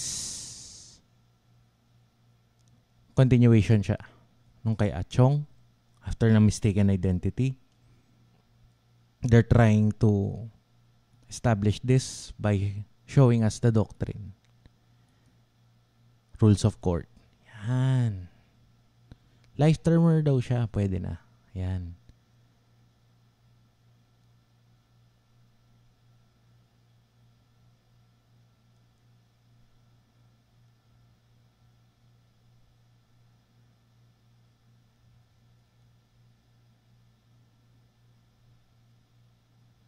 So this this this paragraph talks about the crime. This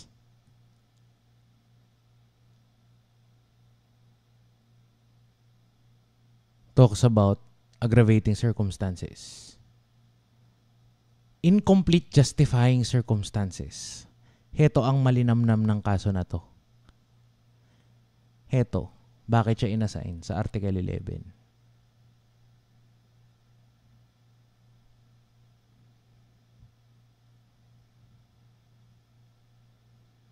If there is one paragraph, ito na.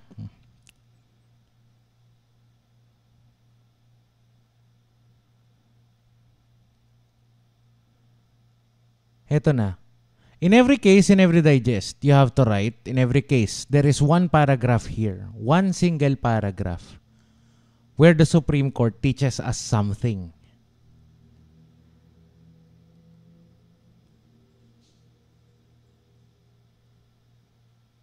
Heto kapatid ang tinatawag na doctrine of the case. Doctrine niya in relation to Article 11 is this.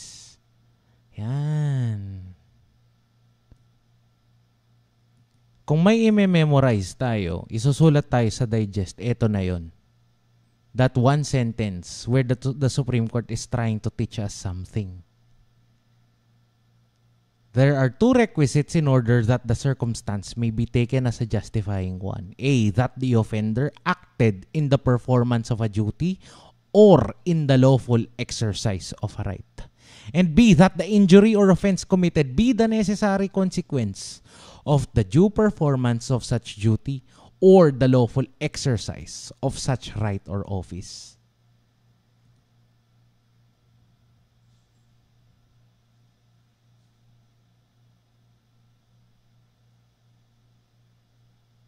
Why is this the why is this the doctrine of the case in relation to Article 11? Why?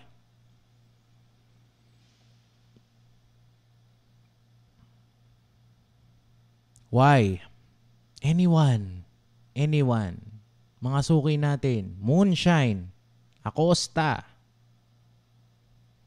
Oligaryo. Bagayas. Bawi. Habol. The accused were police officers on duty. Correct. Really correct. Yan. Anong tanong? Sabi ko na itong sentence na to, itong nakulayan ng yellow, there are two requisites in order that the circumstance is the reason why this case was assigned to us under Article 11. So bakit itong paragraph na to? Miss Gallego says, Gallego says, the accused were police officers on duty. Yan. Abulensya, correct. Monica, pwede, sige.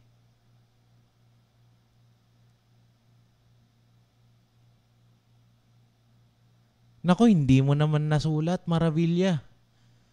Tandaan, we miss 100% of the shots we don't take.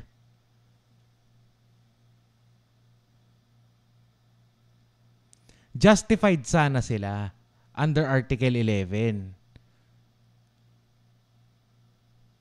Pero we know from the first few minutes of the stream, from the first pages of the reading of this case, that the accused were found guilty.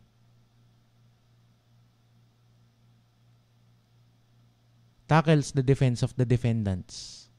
Ganda ng pagkakasulat mo dun, Moonshine, ah. Labang medyo mas lawyerly ang phrasing. In the performance of official duty, correct. This is why the case was assigned under Article 11. They are in line with duty. Correct, Mr. Aragos. Carlos, this is the argument that would prove the wrong action of the police officers. Actually, this was their justifying. This was their card. Ito ang bala nila. Hindi ho namin sinasadya na mapatay namin si Balagtas. Ay sorry, hindi ho namin sinasadya na mapatay namin si Texon. Andun po kami para arestuhin si Balagtas. We were in the per- we were acting in the performance of our duties. Nabigyan po kami ng telegrama, newspaper clipping. Tinuro po, ginuso nung Brigida Malyari na doon po nagtatago ang kriminal na si Anselmo Balagtas. Second, that the injury or offense committed be the necessary consequence of the performance of the duty. Necessary consequence, opo, kasi inaaresto namin siya, pero akma po siyang may dadamputin sa floor, kaya binaril namin siya.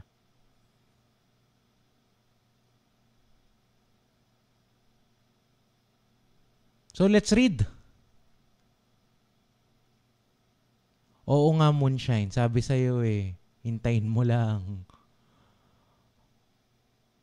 Sige, I will accept your non-performance today. Tonight. Kulang po kasi yung B or second requisites. Are you sure, Mr. Maravilla? Sige nga, basahin natin. In the instant case, only the first requisite is present. Appellants have acted in the performance of a duty. The second requisite is wanting or missing. For the crime by them committed is not the necessary consequence of a due performance of their duty. Their duty was to arrest Balagtas or to get him dead or alive if resistance is offered by him and they are overpowered. But through impatience or over-anxiety, pili nga tayo. Or in their desire to take no chances, meaning they wanted to play it safe. Alin sa kaya sa tatlo ang mas tama? Bakit nag-mechanical error si Owanis at Galanta? Ano sa tatlo? Impatience ba ang dahilan? Over anxiety?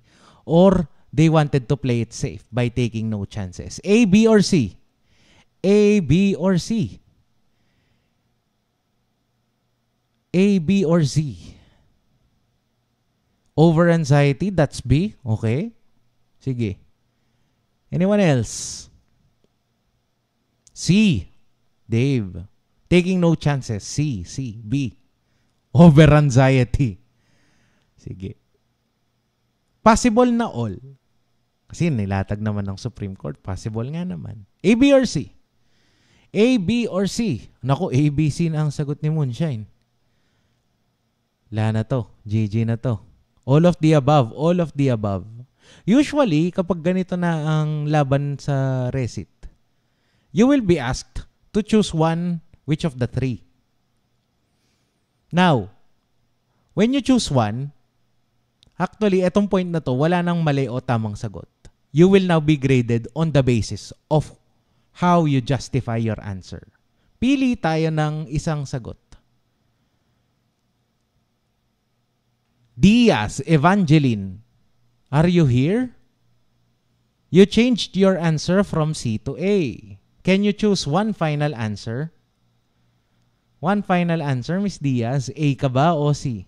Tapos tell us why. Grabe, nakakamiss na sa classroom. Kung pwede lang na meron na lang akong whiteboard, tas nakikita ko kayo na nagsisisigaw ng inyong mga sagot. Sobrang nakakamiss din pa lang nasa classroom.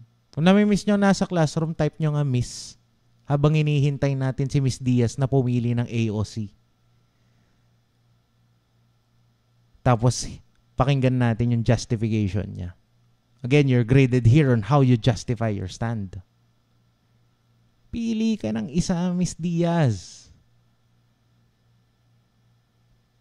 Pili ka ng isa and then answer. Kamahiya. Nobody here knows who you are. Don't know where you live. This is a safe space.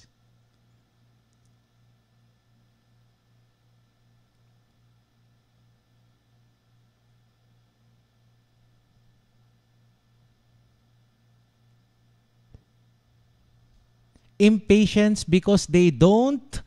Nako, nabitin naman ako sa tinype niya.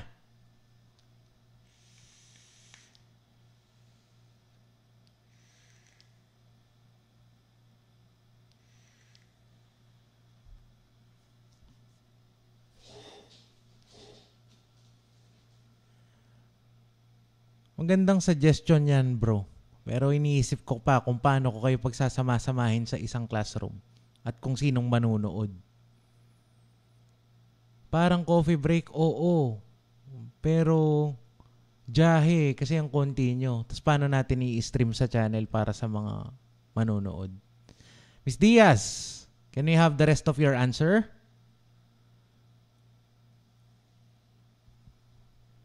Iintayin natin siya. But through impatience or over anxiety or in their desire to take no chances, they have exceeded in the fulfillment of such duty by killing the person whom they believed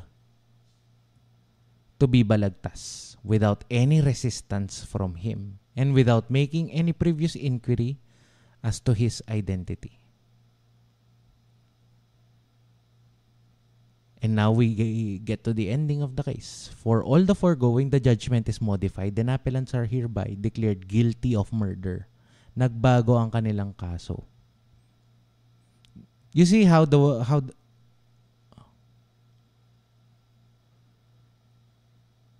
they did not wait to see the whole face of the accused. Oo, parang ganun nga. Correct, Miss Diaz. Correct. Thank you for being brave enough to answer. binaril na lang agad. Correct. Now we get to the ending of the case. They were convicted. They were charged with reckless imprudence. And then they were declared guilty of murder. Kung prof ako at uh, inassign ko tong kaso na to, importanteng itatanong ko yun. Do you see why? Do you see why?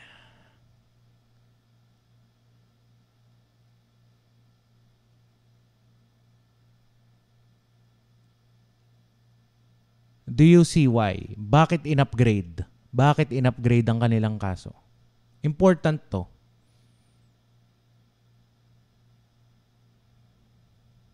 Bakit sila in-upgrade? Bakit in-upgrade ang kaso nila? the same time, merong mitigating circumstance. Why? Why? Si, ito rin ang iniisip ko bakit ma- mahirap sa maliit na classroom eh. Kahit na they intentionally killed the person. Malapit na, the engineers. How can I address you? Haba ng the engineers. Kasi sila ay police officers, malapit-lapit na. Bakit sila in upgrade to murder? Because of other circumstances. Like what? because of aggravating circumstances. Sige, Maravilla, alin doon? Silip ka sa kodal mo. O balikan mo na lang yung kaso. Incomplete justifying they are on duty, being being merely on duty upgrades your offense to murder? Parang hindi. Because of aliviosa or treachery. Correct. Ariopolis officer, Mr. Mendoza, Officer Mendoza, may mga tanong kanina na specific for police officers eh. Kasi walang chance yung victim para i-defend yung sarili niya. Pwede. The correct answer here is treachery. Where can we find treachery in this case? Saan niya nilagay? As the deceased was killed while asleep, the crime committed is murder with the qualifying circumstance of aliviosa. Again, not a fair question. Para tanungin na lang natin dito yung mga nag-crim tuna. What's the difference between homicide and murder? Bukod sa spelling. Mr. Bagayas.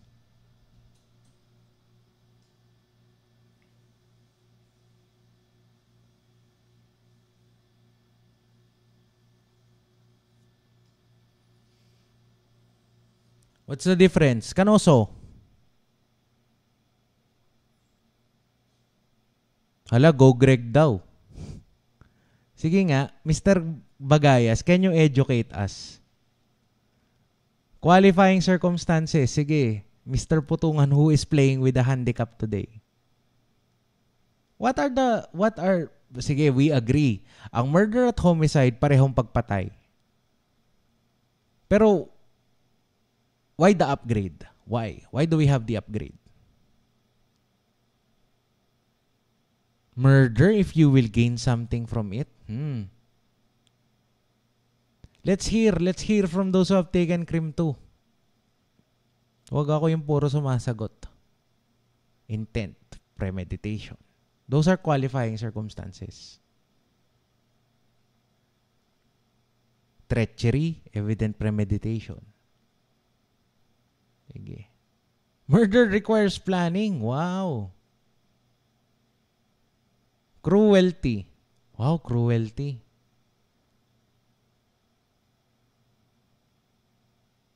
Because there is a greater, greater criminal perversity from the accused. Ayan. The reason why we have, sige, let's quote Mr. Canoso and Bagayas, greater perversity. Again, the basis of punishment is always, always, always.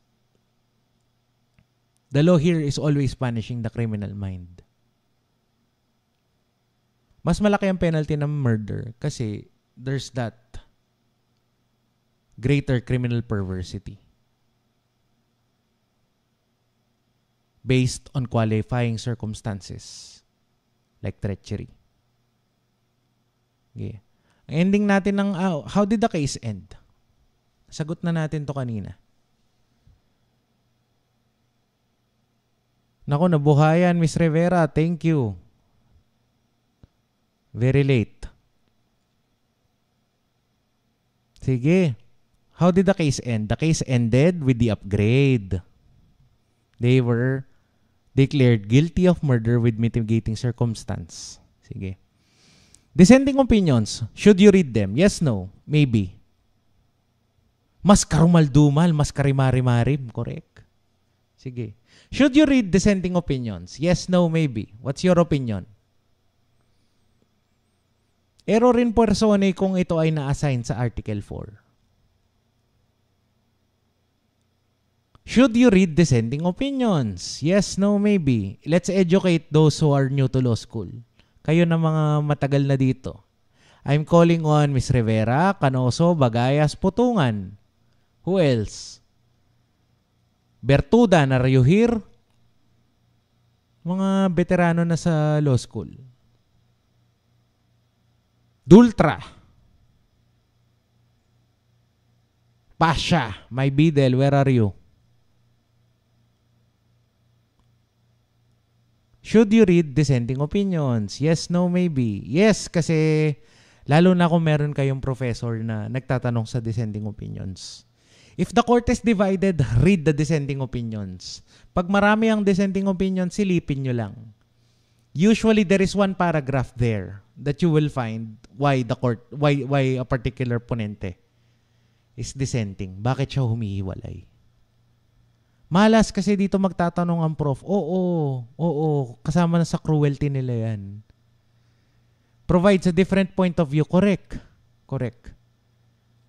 Ang magagandang dissents na nabasa ko over the years, kay Chief Justice Sereno.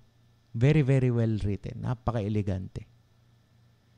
Okay, next uh, next phase ng ating activity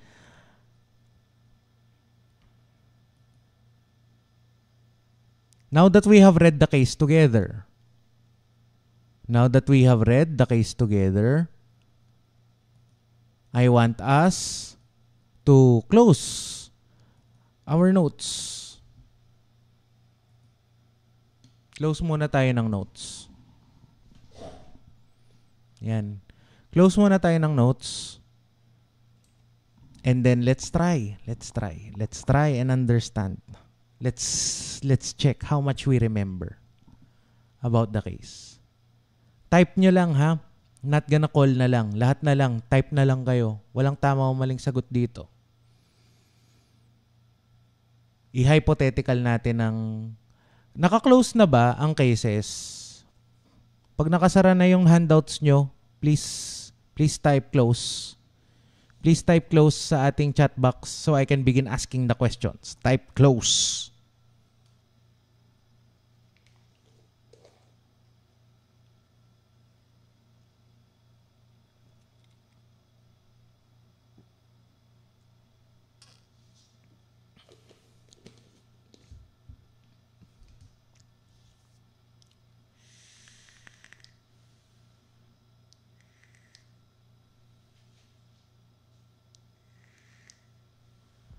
Sige, let's start. Who were the accused in this case? Who were the accused? Who were the accused in this case? Type lang, di na ako magtatawag. Who were the accused in this case?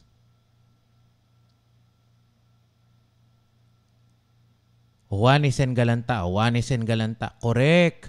Can you give me their first names?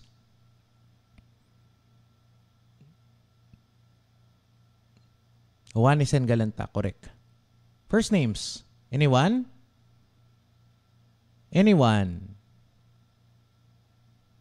Dali yan eh. Nasa title yan eh. Dinadaya nyo ako. Nasa title yan. Limot na. I forgot na po. Antonio Uwani. Sige. One more. One more name. And. And. And. Alberto. Galanta. Correct. Who were they? Were they balut vendors? Who was Owanis and Galanta? Were they balot vendors? They were police officers. Hydrate muna. Thank you, Ali D. Ay, kung wala ka, tsaka si Gallegos.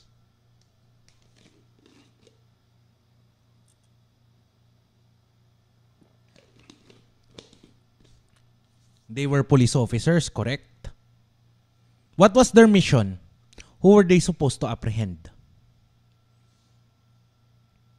What was the name of the fugitive? Sige.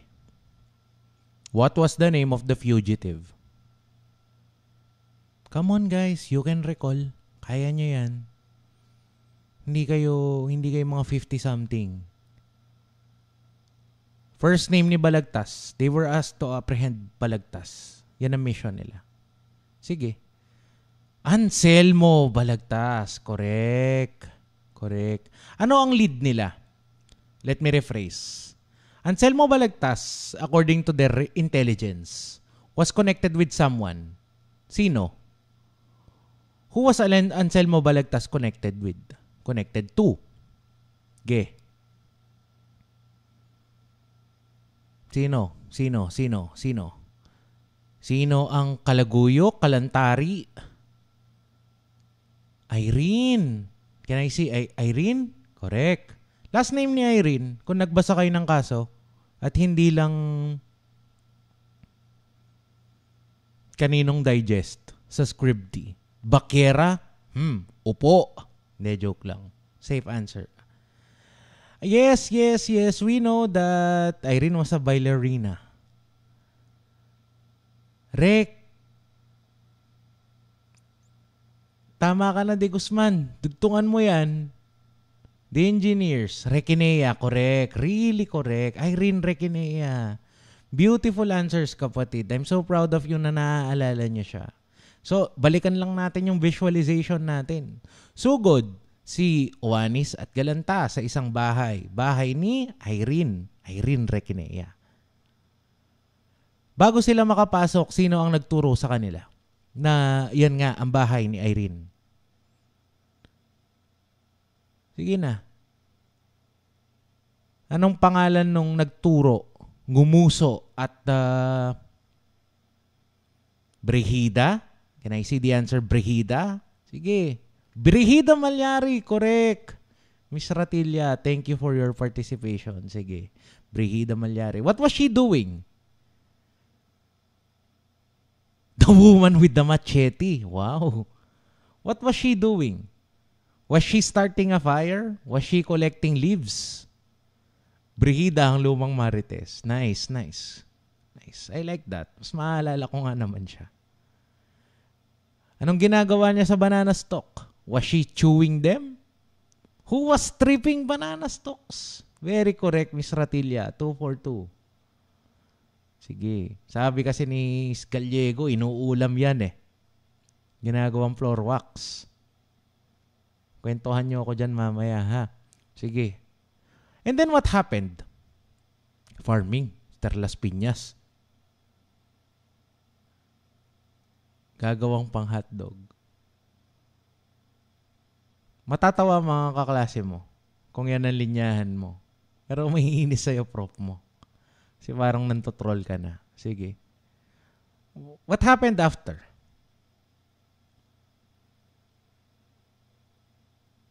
Nagnguso si Brigida Malyari sabay turo with the bolo hand. Sugod si Juanisen Galanta. Pointed to the room. And then, and then shots were fired. Were there shots? Were there shots in this case? The police officers went inside, saw a man sleeping, and fired. Correct, Mr. Guzman. Really correct.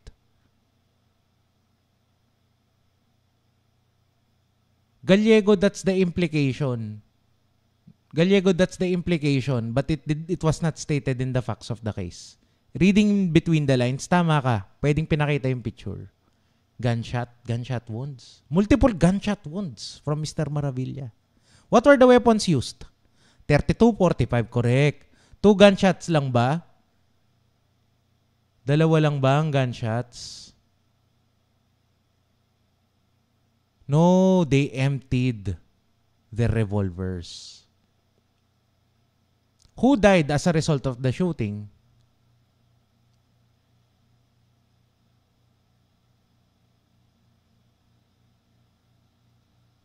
Who died?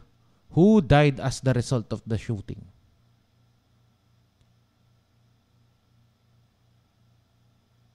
Si Rapis Tucson. Na autocorrect ka ba, Miss Ratilla? Tucson, Texon. Irene Sparamore. Yes, that's the relationship. Wow, Mr. Balagtas, sabi ni Bagayas. Napaka-troll mo. Ang troll mo na ngayong magaling ka na, ha? Si Rapio Texon, correct, correct, correct, correct. Sige. Si Rapio Texon died as a result of multiple gunshot wounds fired from a 32 and a 45 caliber. Sige. What happened to Irene Requinea? What happened to Irene Requinea? Nag-makeup ba siya? Sumayaw ba muna siya? O yung, kanino ba yung funny na sagot? Yung kanina, yung tumakbo, tumalon, sumigaw? She fainted. What did she faint?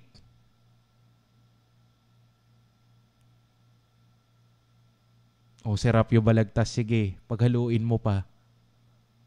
Nahimatay. Really correct. Correct, correct, correct. How did the trial court rule on the case? Ano ang kanilang crime muna? Sige. Uh, sa mata ng trial court, ito ang crime committed. Can you type the crime committed?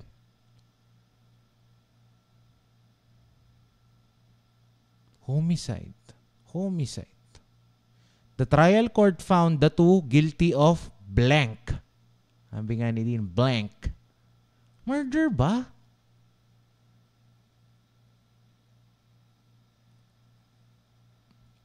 Baligtad. Reckless imprudence resulting to Baligtad. Reckless imprudence resulting to resulting in homicide. Sige, let's accept that. Resulting in homicide. Correct, correct. How did the Court of Appeals resolve the case? How did the Court of Appeals resolve the case?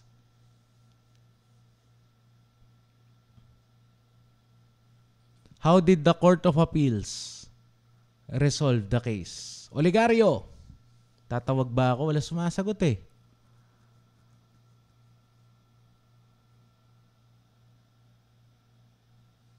De Guzman? So the Court of Appeals affirmed the decision of the trial court?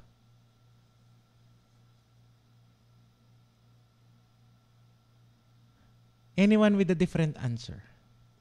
Anyone with a different answer?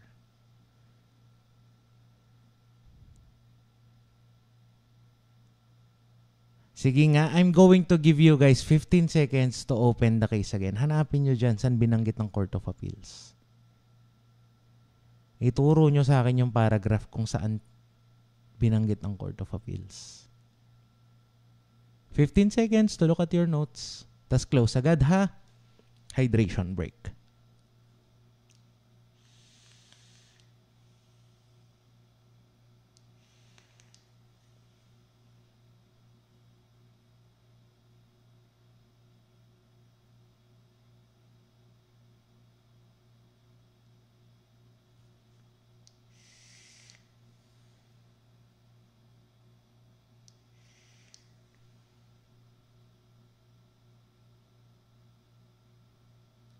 I see one correct answer in the live chat. Baka gusto nyong kopyahan na siya.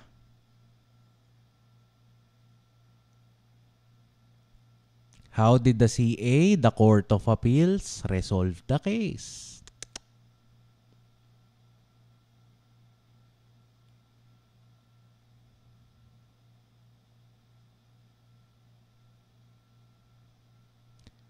Miss Angeles, you are referring to the decision of the Supreme Court na.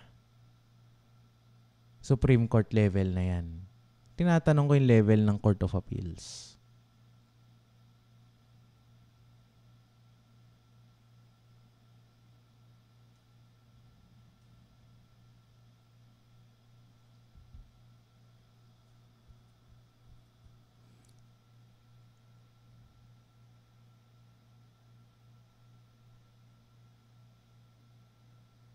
Sige, Miss De Guzman. Pag guilty of homicide, diretso ba? It can be confusing. Really. Ito na, ah. listen na lang. Kapag sa ang ang flow kasi natin, we start with the municipal trial court.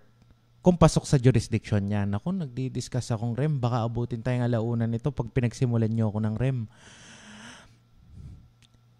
from the municipal trial court, kung pasok sa jurisdiction niya, doon ihihir, i magkakaroon ng trial. Kung hindi pasok sa jurisdiction niya, RTC, Regional Trial Court. After ng Regional Trial Court, the case is elevated next to the Court of Appeals. Clear? Clear? After ng Court of Appeals, ano? Oh, naman tayong mabot ng alauna kapatid. After ng Court of Appeals, saan pwedeng iakyat ang kaso? Saan pwede? SC, SC, SC, SC. Sige, Supreme Court. After ng Supreme Court, saan? Saan pwedeng iakyat ang kaso? Office of the President? Office of the President ba? Office of the Senate President? Saan pwedeng i-elevate after ng SC? Ay, sa Diyos daw. None. Wala. Wala na po. Wala bang Super Supreme Court with cheese? Cheesy crust? Wala bang Super Supreme? Super Supreme with stuffed crust? Wala. Final na yon. Correct. You guys are correct. There is no Super Supreme Court. None. None. Wala. Wala. At saan naman ako hahanap ng pizza ng ganitong oras? Bakit tayo nagbabanggit na Super Supreme? Nakakainis. Saan ako hahanap ng pizza ng alas 11 ng gabi? Kahit Tulfo. Haha. Sige. Supreme Court is the highest court. Sinagot ko yan dati sa Resit eh. Bakit wala na daw, wala, ang tinanong kasi sa akin ni Attorney Golangco, bakit daw wala ng After daw ng SC sa ni-elevate.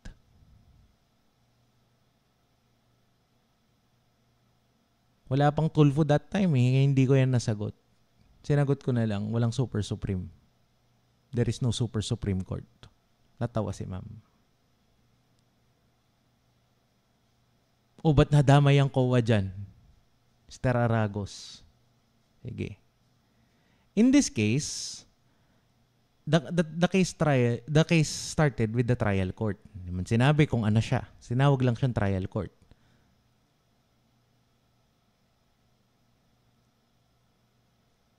Tinawag lang siyang trial court. Tapos, walang elevation sa CA. Why? Why not?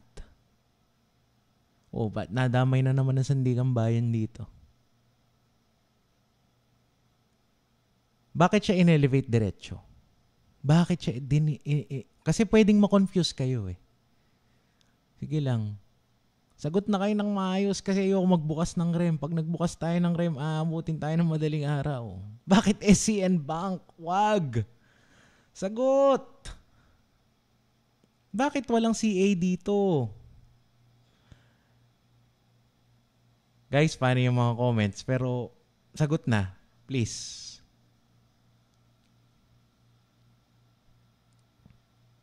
Aliw na aliw ako sa mga sagot nyo. So, please, answer, answer. Bakit walang CA dito?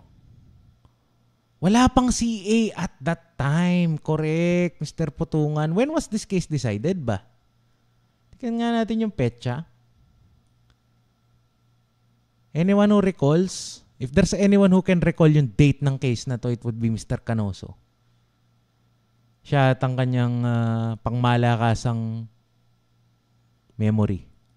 Photographic memory. 43. Correct, correct, correct, correct. This was the teenage years ng ating judicial system, ng ating justice system. It's a trick question. Correct. But it's something you have to look for in a case. When you're reading cases, always note the date. So you'll know the process. Baka kasi nagugulumihanan na kayo, naghahanap na kayo ng CA, wala pang CA. Sige. Hope that makes sense. So the CA did not do anything to the ruling of the trial court. In fact, trial court ang tawag sa kanya. Tama. Hindi siya tinawag na municipal, metropolitan, or regional trial court. Sige. So, time of the constabulary, luma pa. Correct, Miss Ratilla. Correct, correct. No CA that time based on old constitution. Correct, correct, correct. Sige. In this case, the Supreme Court is trying to teach us things about mistake of fact. They're also trying to teach us about uh, how to effect a valid arrest.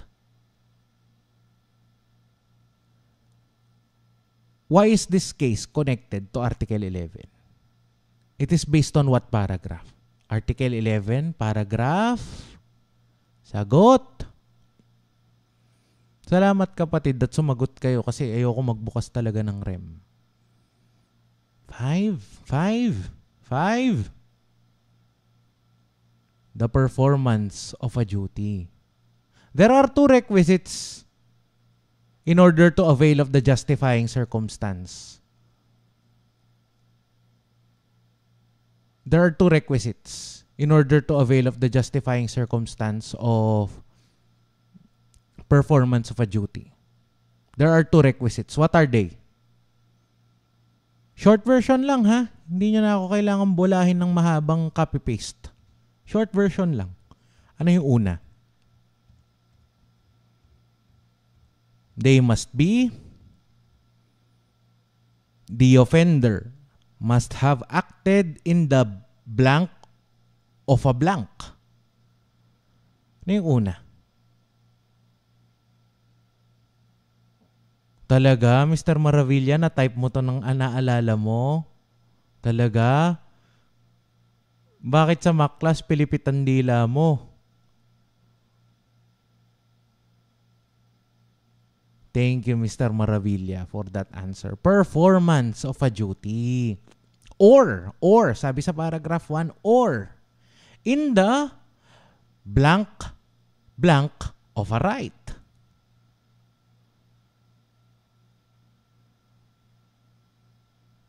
Blank, blank of a right.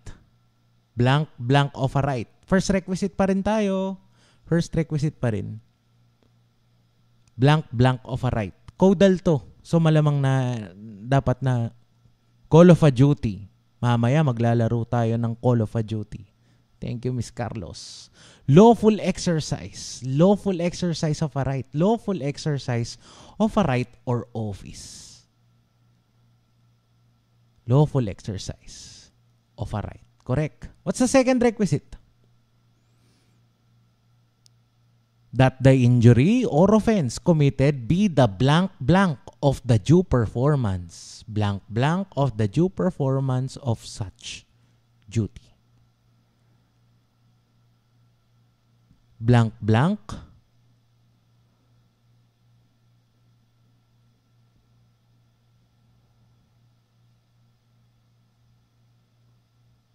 Balikan nga natin yung sagot ni Mr. Maravilla.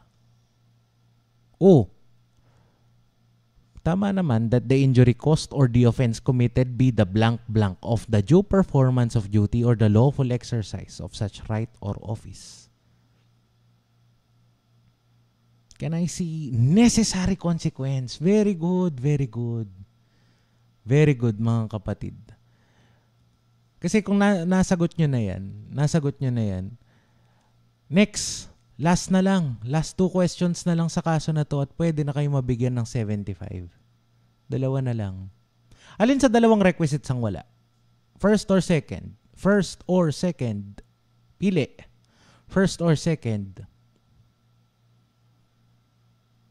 First or second? Ano ang wala? Anong hindi nakita ng SC dito?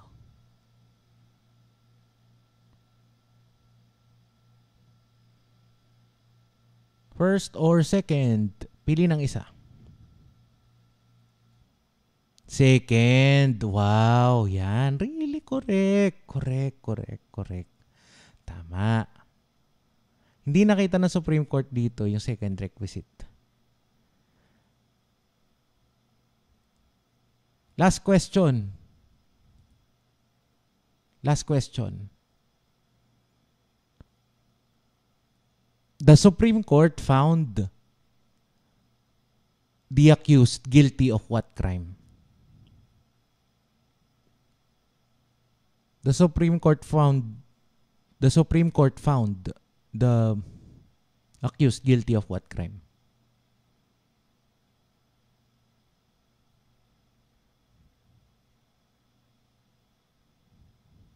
Murder. Murder. Correct, correct, correct. Sige. That's it for recitation. Ah, one final point. One final point. Gamutin natin ng kasi ang ang problema ng ng pagre-recite sa mga kaso. Madali kapag iisa eh. Agree? Would you agree? Kung iisa lang ang kaso for assignment natin. Madali. Would you agree? Type agree. Type agree if you agree.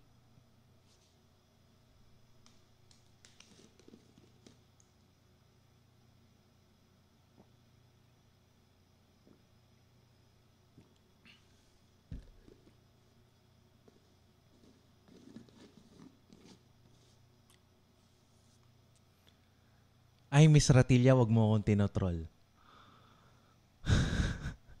Seryoso. Saan ako hahanap ng pizza ng ganitong oras? We agree napakadaling tandaan pag ganito. Paano natin iiwasan yung feeling na nagja-jumble-jumble sila sa isip natin? How? How do we move past that? One way of moving past that is by yung kanina, yung kinwento ko sa inyo, yung trying to do thumbnail sketches sa kanila. When you do thumbnail sketches for every case, lalo na sa crime, napakadaling i-visualize. Kasi looking back at uh, where we were when we were discussing this case, tapos and how you guys answered until the very end.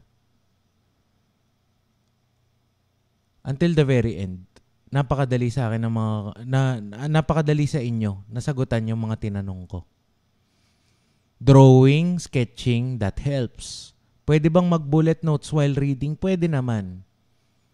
another way na pwede nyo tong mas maalala is uh, usually kasi sa Batas app, keep a list with a murder weapon. Oo, that works. Uh, balik ko ba? Balik ko lang sandali ha, kapatid. Yan. Pag napansin nyo, sa cases natin, may mga na-highlight tayong importante. Ito na paggawa na, paggawa na to ng Baby Digests ha. Meron tayong ganito. May mga highlighted phrases tayo. The most the key details that that professors are often looking for. Yan. What I usually do is cut or copy highlight the highlighted portions and transfer them to another document. Does that make sense? Gumagawa ako ng Baby Digest gamit, kung nandito na ako sa Word ha, ililipat ko lang into a new document. Yung baby digest na yan, followed by the thumbnail sketches, allow me to remember each case. Nagiging unique sila sa isipan ko. Is that, make, is that making sense? I hope I'm making sense. Finally, yan. When I transfer my notes plus my drawings into some other document, I often assign a case, uh, a case title to a hypothetical case title to each case. Ganito. Ang nagturo nito si uh, galing to kay ano, Attorney Pamaran, Dean Ace Pamaran. Yan. The best way to remember a case, sabi niya, is kung gagawan mo daw, kung na-visualize mo na, na, na meron ka ng thumbnail sketches, kung ito ay gagawing episode ng MMK, kung ito ay MMK episode, magiging maalaala mo kaya na episode siya. Ano kaya ang magiging title niya? Can you think of one word or one phrase na kapag ganun nating nilagay ang title ng case na to ay instantly, boom, boom, boom. Walang kawala, walang kawala. Walang kawala. Alam natin, people versus Owanis and Galanta.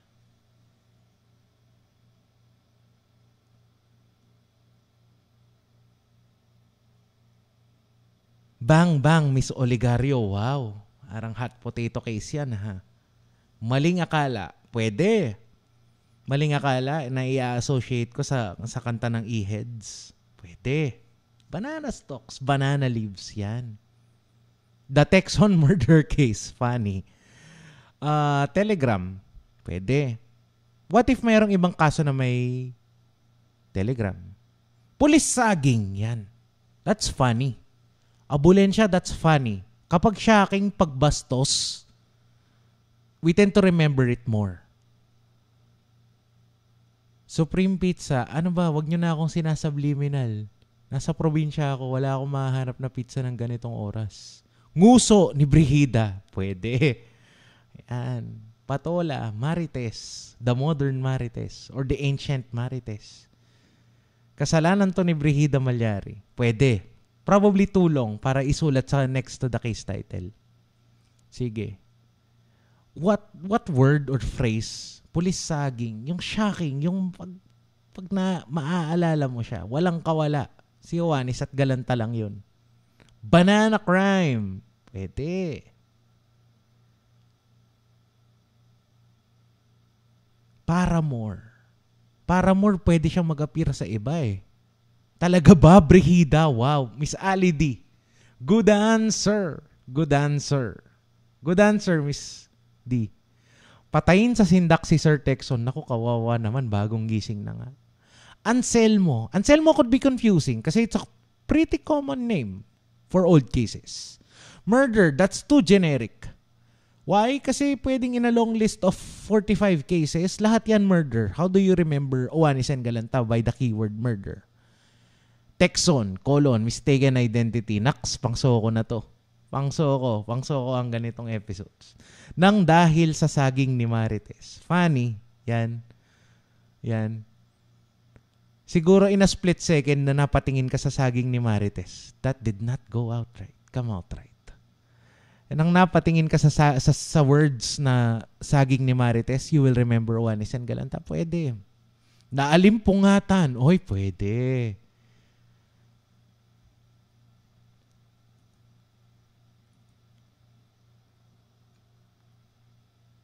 Sige, Mr. Las Piñas. Pwede rin to, himatayin sa sinak si Irene.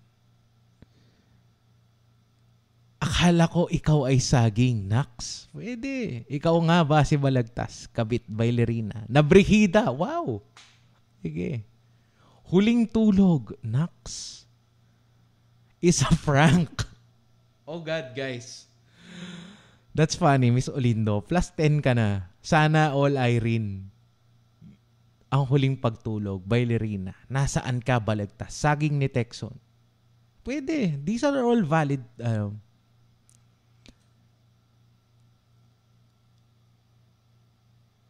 these are all correct. Ako, uh, during my time, hindi, this wasn't, hindi, the way I remember this, kasi spoilers alert ha, sa ilang batch ng Mac class, malakas maka-throwback tong kaso na to eh. Ito na yung kaso na hindi nila inabot. Pero pag tinignan nyo ang notes ko, ang nakasulat next to People versus Juanes and Galanta is Irene and Shulgi. Ang huling ligaya sa kama sa feeling ni Irene Nax. Title of your sex tape. Ay, can I say that? Can I say that on a stream? Malakas maka-throwback ang kaso na to. Kasi ito na yung kaso na hindi na nila inaabot usually. Nahimatay sa pagpatay. Pero sa notes ko, what I usually write, lalo na yung SPO2 knock-knock versus people. Oo, ang pinagdidebatihan ko nga kung knock-knock ang i-discuss ko ngayong gabi o itong Owanis. Langit-ngit ng papag ni, nila Irene. Wow. Walker 1.5 Irene. Nako. Oh, Ali D, I regret saying that. Baka naman, baka patanggal ng YouTube tong stream natin eh. Yes, tanda ni Mr. Putungan, sinaknak versus people pinanindigan niya yung kaso na yan. All the way until the very end.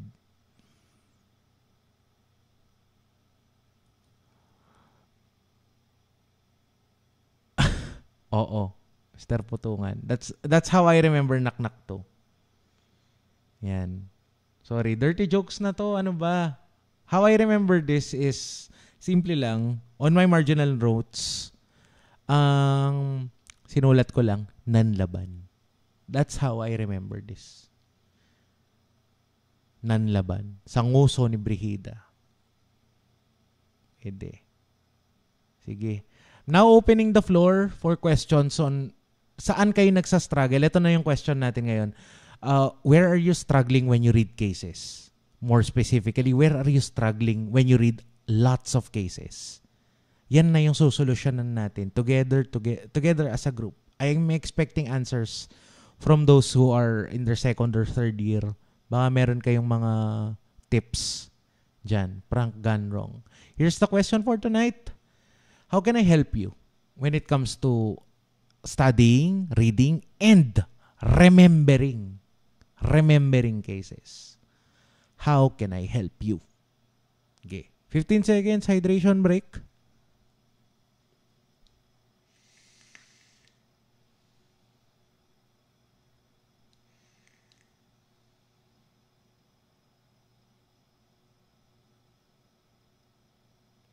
Kapag nai-intimidate ka, pag sobrang haba na agad ng nakikita mo, what do you do?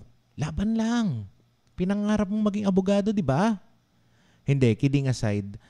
There are extremely long cases. Some of them you will find in constitutional law. Every professor you have will will ask you to do one to do one really really long case. Sila ang pinaka-importanting case sa henerasyon nila. Earlier in the stream, I mentioned Havellana versus Executive Secretary. Kung yung professor ay 50-something or 40 plus, iconic sa kanya ang kaso na yon. And you have to learn that. Walang sagot sa ganun. Walang sagot sa sa tanong na bakit bakit kailangan magbasa ng 365 pages, pages sa, sa iskra, sa skra, sa skra. I read books. Chinaga ko ang Haveliana versus Executive Secretary. From time to time, magkakaroon kayo ng mga iconic cases. Probably in your generation, that would be uh, Republic versus Sereno. Possibly kapag naging mga professors na kayo, 10-15 years down the road, malamang ipapa-assignment nyo rin yan eh. Ang Sereno versus, ah, Republic versus Sereno.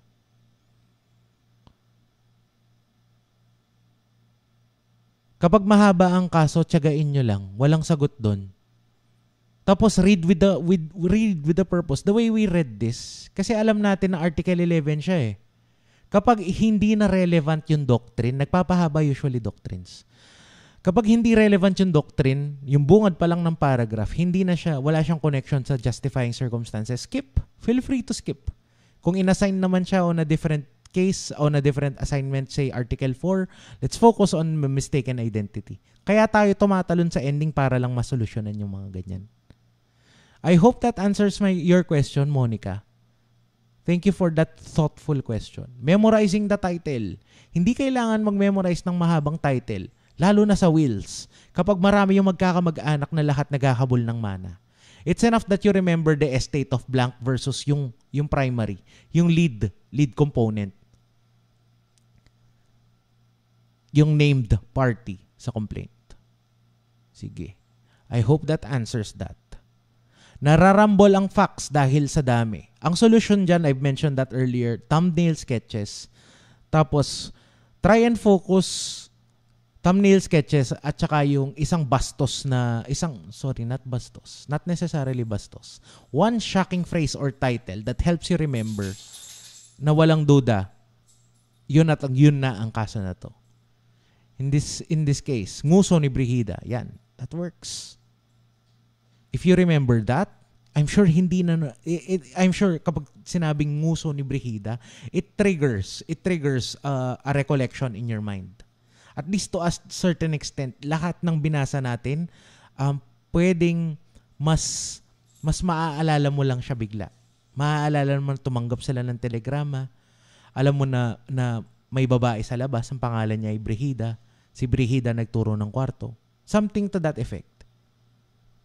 Sige. I hope that answers that, Kram. Ms. De Guzman, are the ruling of the lo- lower courts part of the facts? Yes and no. Yes, kasi they appear usually as part of the facts. Unless the Supreme Court, the ponente, synthesizes the facts for us. There are always two sides to every crime story. The version of the prosecution, the version of the defense. When you write facts, kapag nag-digest ako, and I want to do this in a future episode where we digest together after reading a case, I I always start with one sentence that answers who are the parties to the case, Why was the case filed and what and on what basis? Why was the case filed? Who are the parties? What was the case? Why was it filed? Yan.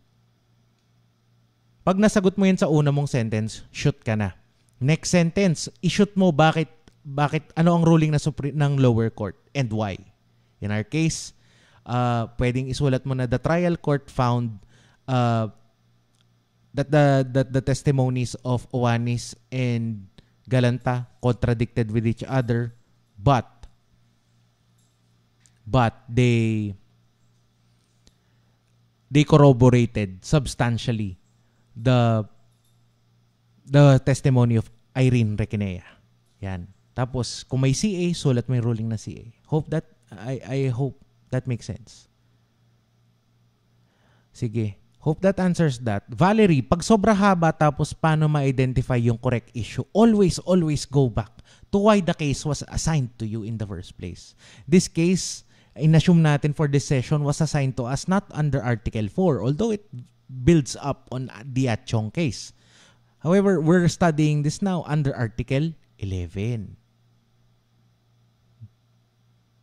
Kapag alam mo bakit inassign yung kaso, pwedeng magbasa ka na with that purpose, without with that purpose in mind.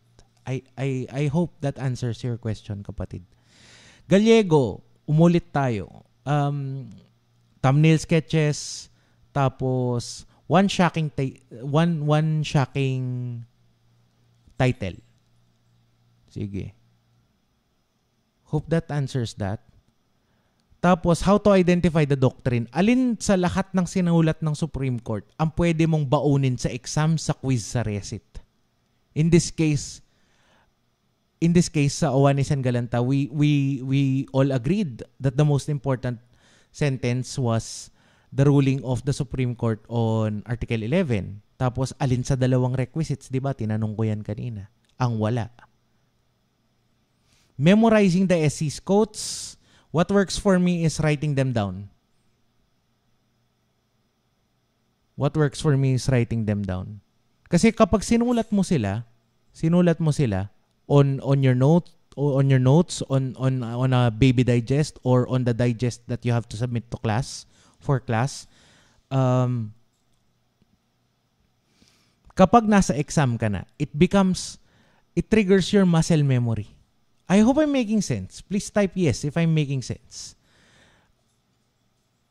Parang, parang, it triggers the mechanical, it triggers a part of your memory. Parang muscle memory na lang na inuulit mo yung pagkakasulat ng, ng doctrine ng kaso sa iyong exam booklet, sa iyong uh, long pad kapag may quiz. Or inuulit mo lang siya sa professor mo like you're reading it from your mind. I hope that answers that. Consti, walang sagot. Sa Consti, chinatsagayang mga yan.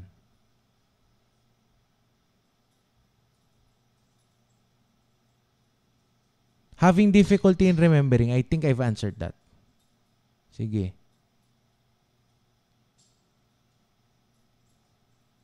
Hello, Miss Floor. Next academic years, kaya possible na ma-discuss ang case ni Nuesca?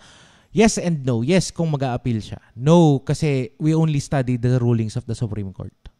Issue spotting. Issue spotting is something I would like to cover sa sa coaching. Mahirap ituro ang issue spotting. Parang shotgun kasi siya eh. It's too broad a topic to discuss. I think it's best for us to actually sit down, work through issue spotting. Sige. Doctrine of the case. Find that two sentence, one paragraph in the entire decision that answers the question, why is this case assigned to me? What is the SC trying to teach?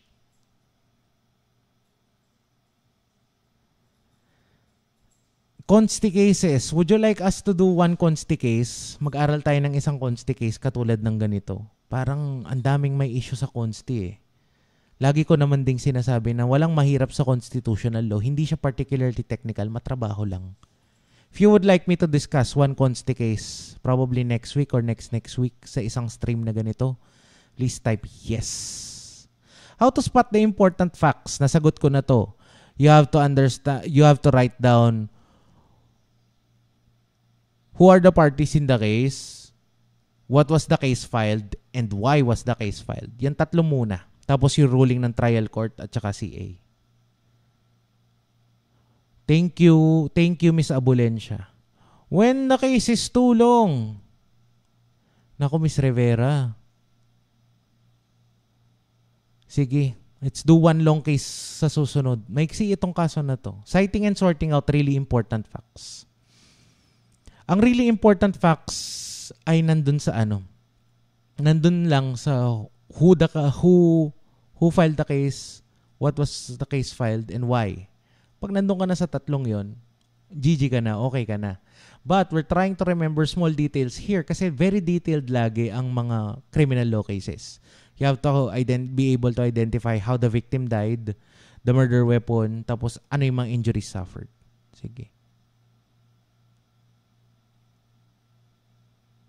Would you like us to do ang ladlad versus Comelec? Republic versus Sereno plus opinions. Naku, pupuyatin nyo ako. Manila Prince Hotel versus GSIS. Kaya, kaya nyo yan?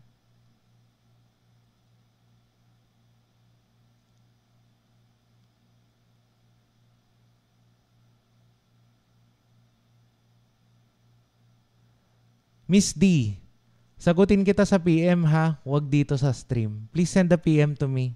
Okay. Tuwing kailan po kayo nagla-live? Parang wala namang ding schedule. Ang usual, kailangan ko lang na may ma-upload on a Tuesday and a Friday. Nagkakataon lang na lately parang mas useful kapag live.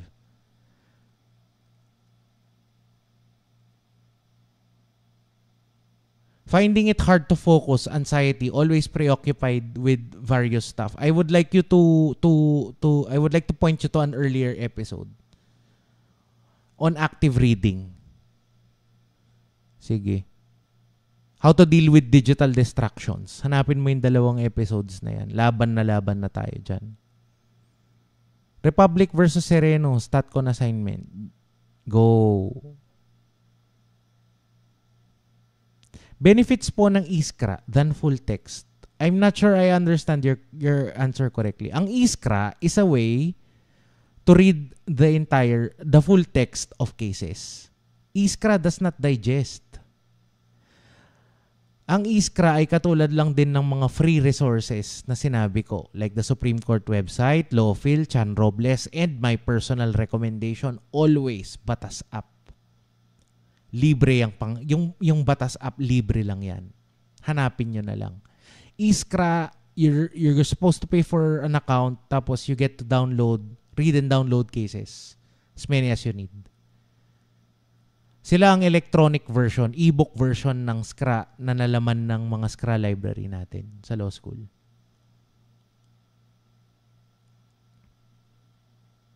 Full names of individuals, yes. Kasi when you attach full names to to individuals, they become human beings. Mahirap kasi for example in succession, pwedeng pwedeng nag-aagawan ng mana ang anim na magkakapatid, all surnamed Cruz. Yan. So how do you remember Cruz 1, Cruz 2, Cruz 3, Cruz 4, Cruz 5, Cruz 6? At yung different arguments nila. Sige.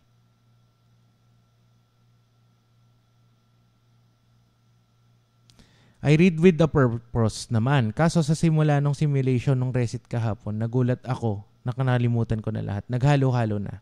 Shooked. It happens even to the best of us. My recommendation, active reading. Kailangan ac- active reading. Dalawa ang resources mo dito, how to read textbooks for law school and yung stream non Tuesday. Ay, sorry, Wednesday. I hope you find that. Kailangan bang i-memorize ang GR number? No. Sapat na na kaya mong is-cite yung title. Kahit hindi nga yung buong title eh. Masabi mo lang yung dalawa. Yung dalawang parties. Republic versus Sereno. In this case, People versus Suanes and Galanta.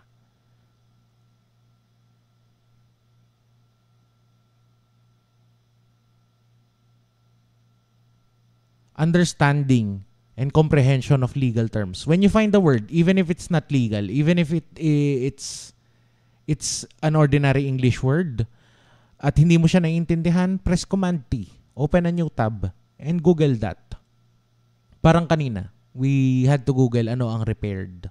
Ano ang inayos niya. Sige. Will the sketches work po pag consti cases? Yes and no. It depends kasi kung kung kung if the excuse me. When the if a, if it's a consti case and it's telling a story, yes, thumbnail sketches will work work. Pero 80% of all the consti cases you will have to read are based on arguments. So what I usually do here is attach an argument to one person. Attach attach an argument to one person. Argument based ang consti. Vital ba ang dates? Yes and no. Vital siya kapag material siya sa case. For example, in remedial law, when there are a lot of periods that need to be complied with, kung if the pleading, if, if the responsive pleading was filed in time, uh, if the appeal was filed in due time, yan. That's when you need dates.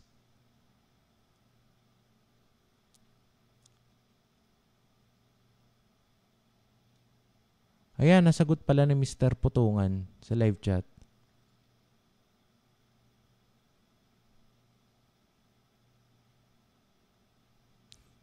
Ayan, what what uh, Mr. Canoso is referring to here is yung section daw sa top ng full text enumerating yung mga issues for different subjects. Yan ang bintahin ng Iskra. Pero para sa akin, yung advantage na meron na yon does not justify yung presyo niya.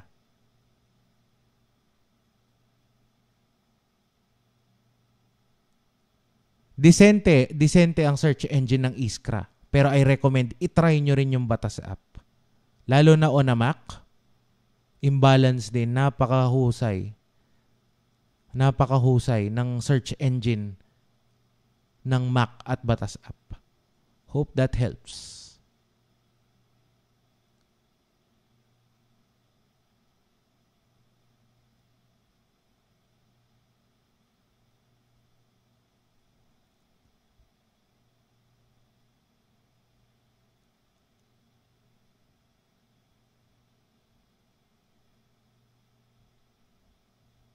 Sige, backread lang ako. Hydration break.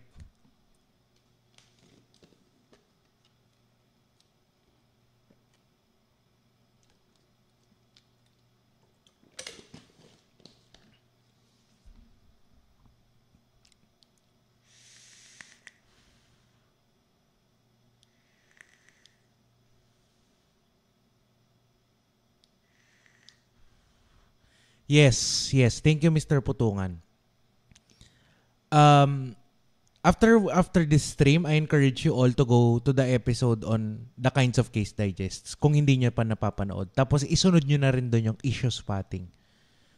Baka baka mabuo pa yung understanding niyo of why we do things. Sige, thank you.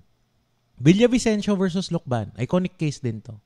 In a few minutes, I'm turning 24. Happy birthday! Miss Evangeline Diaz. Ba sa law school, kapag birthday mo, natawag ka mag-recite, minsan, hindi ka, wala kang grade or 90 ka na. Depende sa prof. Si Judge Serrano, God rest his soul. He, he called me to recite on my birthday. And I was tired from all the birthday blank. Nakanta rin ni... Na, na, nakita nyo na yun sa dekada. Nako, basa nyo na yun dahil pagod ako sa birthday blank, ay wala akong aral. Pero thank you, thank you Judge kasi nabigyan ako ng magandang pagkakataon. Sana pag naging professor din kayo ganun, pag tinawag niyo sa birthday niya, bigyan niyo na lang ng magandang grade dahil birthday niya. Konting kindness in law school. Paano hindi malunod sa dami ng kaso na babasahin? Good question. Parang ganito. Um, During your first few meetings, you will get a good understanding of how your professor asks. Kung matanong siya sa details, katulad ng mga nadaanan natin kanina, banana stocks, um, telegrama, kung detailed siyang magtanong, then aral ng detailed. Trust na pag detailed ang tanong, hindi lahat natatapos. Hindi natatapos lahat ang 12 to, to 45 cases. Malas na lang pag patalon-talon. Pag ganun, brute force approach, aralin lahat. Aralin lahat in detail. Pero once you get a good feel of how many cases your professor asks in a, in in every meeting, malalaman mo kung kung ilan ka ilan ang ikokota mo. I hope I am making sense. Very passive kapag hardworking working daw student, napaka-imposible rin talaga minsan na matapos mo yung buong coverage. Pero pag natapos mo at aral na aral ka, proud moment, mag-volunteer ka.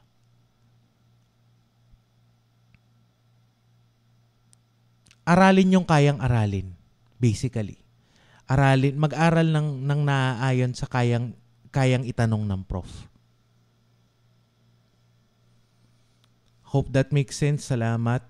Pa-pizza ka. Ayan na naman. Sinasabliminal nyo talaga ako. Saan ako hahanap ng pizza at 11.55? Sige. Nika Valerie. One-on-one coaching and mentoring program, nako hindi pa man masyadong nakapublic yan. PM mo ko kapatid. Mentoring right now is limited to yung mga barista, yung mga earlier mentees. Pero I'm going to open it up for the public probably in two weeks. Hintay-hintay lang ng link. Oh, chapter 2 ka na ng dekada. Maraming salamat for your support, Mr. Maylas. Ayan, may baso na naman tayo. Maganda yung boses mo po. Hey, uh, thank you, thank you. Is it really recommended po talaga na dapat word for word ang SC ruling in ex- answering exams? My, my answer here is yes. Yes. Lalo kung applicable yung kaso. Kapag nilift ng professor ang facts ng isang kaso tapos sinagot mo siya ng exactly verbatim na ruling. GG tayo dyan. Hindi ka pwede, pwede hindi ka na pwedeng mapuntusan ng mas ng mababa. That is why I always recommend that you go for the one sentence doctrine. What is the Supreme Court trying to teach us here? Sila ang magiging bala nyo sa exam. Read them, memorize them, study them. Walang sagot dyan. Inom na ng gamot. Yes, done na. So you have me for what? 30 more minutes bago mawalan ng malay? Sige.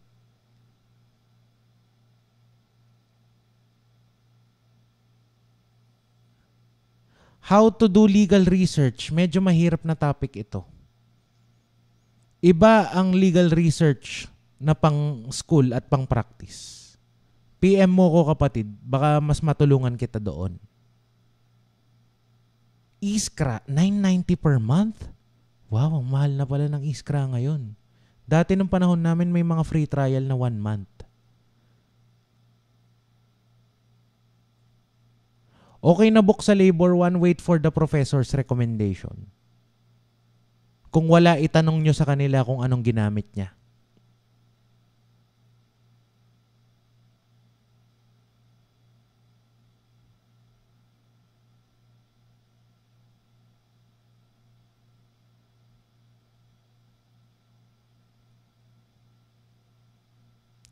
Sige. Oh, discounted pala ang ang ang ang oh may mga orgs, fratsoro schools na namimigay ng ganyang bagsak presyo na iskra. Marami niyang maraming nagse-sale niyan.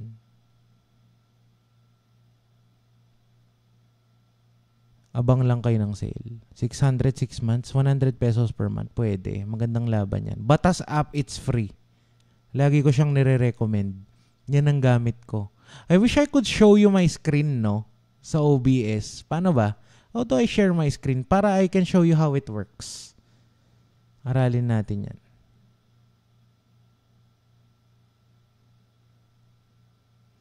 Mga lumang kaso ni Chan Robles, merong syllabus, yes. Link ng batas app, hanap lang. Nasa Facebook nila, tapos ililink ka sa isang Google Drive. Download ka lang nun. Balikan ko po how to active reading last Wednesday live stream. Na late po ako. Thank you. Please, please watch that episode. Malaking ambag nito sa ano. Alam ko mahaba siya pero malaking ambag nito pagdating sa pagbabasa at pag-aaral sa law school.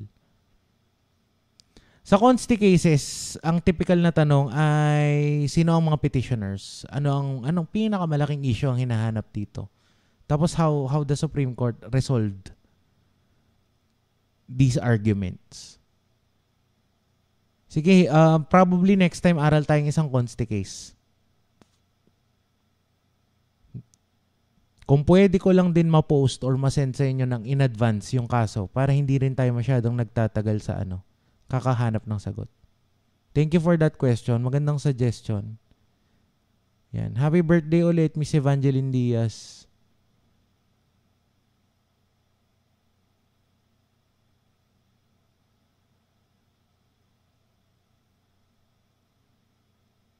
O tumatalo ng aking live chat. Sorry lang ha, hintayin na hanap tayo.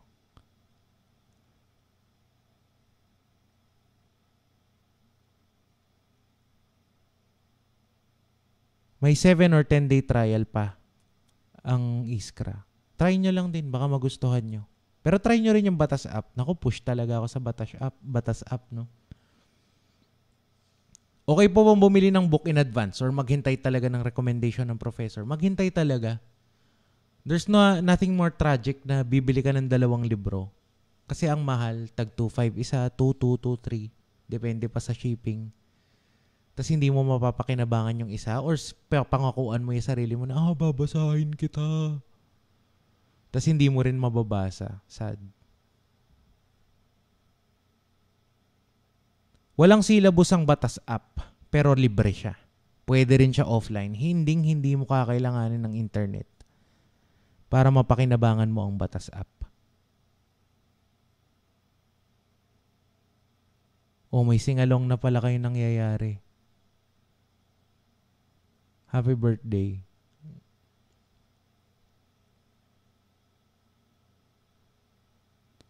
Google Shared Drive, oo. Yes, I think I'm using that for the last two streams para sa handouts nyo. Yes, sana ma-post ng maa- maaga. The problem with posting it early is that very possible na hindi na tayo sabay ng aral. Parang ganun. Sige. Maeve Santos, sad talaga. Di marid. Happy birthday. Yes.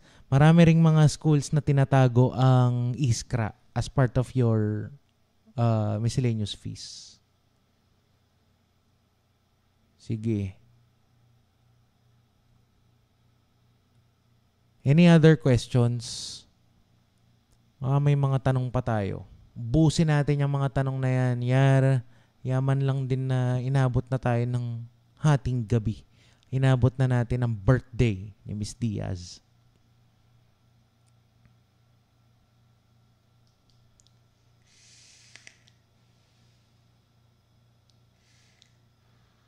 Meds, tapos na. You still have me for 15-20 minutes bago ako mawalan ng malay. Good morning. Wow, oo nga no. Ang weird sabihin ng good morning sa channel.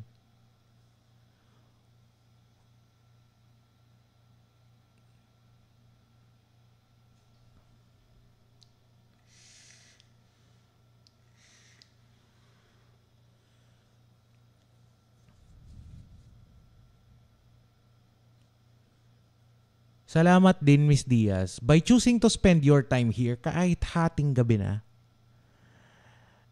it sends us, it sends me and the the same message to the rest of the Lex in Motion team that what we do here matters. That what that the that the work we do here matters for for you, for for someone else. That the work we do here is meaningful by choosing you to spend your time here. Thank you. You're telling us that what we do matters. So thank you, Miss Diaz. Happy birthday na rin. Zoom po ba ang Mac class? Hindi. Google Meet ang gamit namin. Sorry kasi wala, loyalista ng platform eh. Malaki ang ambag nila sa amin. Kaya we use Google products as much as possible. Kung ikaw ay natatakot sa iyong pagpasok sa law school, I suggest you join uh, the mock class this Sunday. The link, the registration link is in the description box. Sana mag-register kayo. Uh, the purpose of the mock class is to traumatize you, to terrorize you, para maramdaman mo na ano, uh, advance, in advance, kung ano ang laban na pinasok mo. Tapos you can make your adjustments before you actually go to class, before you before the school year starts.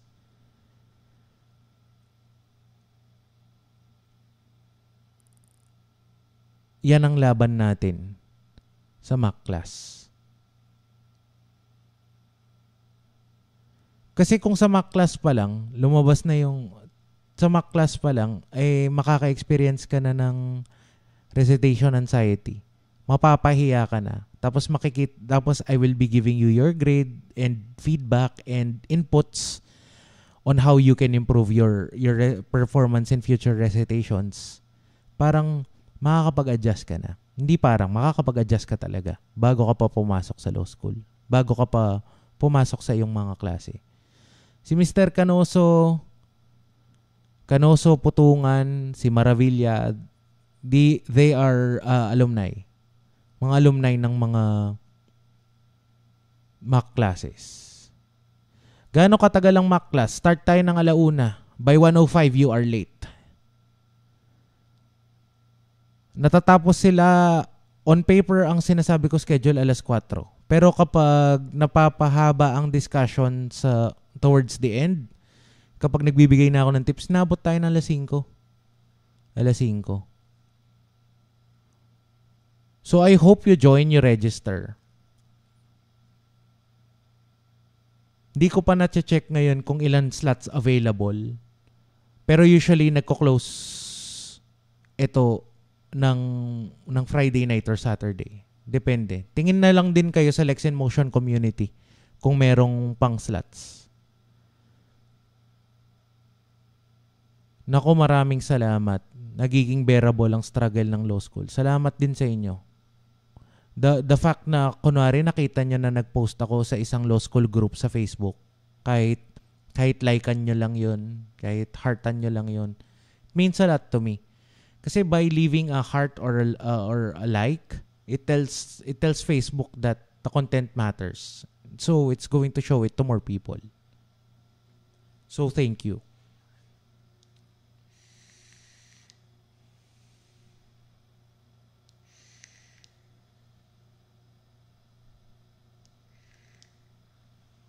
inaantok while reading the cases, then you're probably not engaging with your material. Parang dumadaan ng letters sa iyong mga mata. I've discussed that in last in the stream uh, for Wednesday. Balikan mo na lang, bro. Ang tawag doon active reading. It's the process that I use for reading cases, textbooks. Uh, yan ang mga nakakatulong sa akin para hindi ako antokin. Kasi you're actively engaging with the material. Dinidebate mo ang sarili mo. Hope that helps.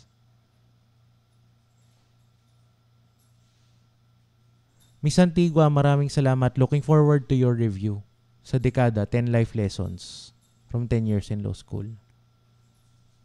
Ja, maraming salamat. 14 pa lang po ako. Learning po so much. Nako, Iha, ikaw ay matulog na alas 12 na. Baka mapagalitan ka pa bukas ng umaga kung hirap kang bumangon. Hindi pwede ang sit-in sa mock class kasi hindi mo mabubuo yung experience na nag-aral ka. Hindi kasi pwedeng nandun ka lang at nakinig ka. Hindi yun yung point ng exercise. Kung gusto mo ng ganun, live stream or manood ka na lang ng ibang lecture. Parang ganun. The point here is for you to experience what it's like to re-experience recitation anxiety. Damay na dito yung nagpapalpitate ka, napupuyat ka, may diarrhea ka the next day. Tapos biglang okay ka na after mong matawag.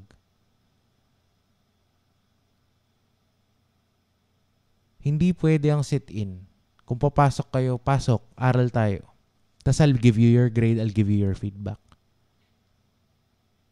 Paano ang preparation for mock classes? Uh, usually, I send out the assignment 24 hours before the class. Start kami ng alauna, tatapos kami ng alas 4.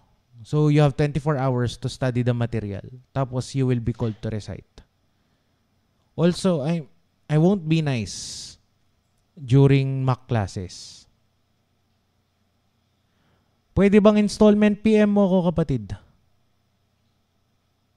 Ay, Madam Monica, thank you.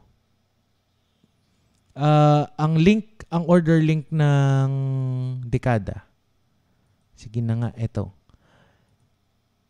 the first link is for dekada. Yan. Tapos those of you who are interested in joining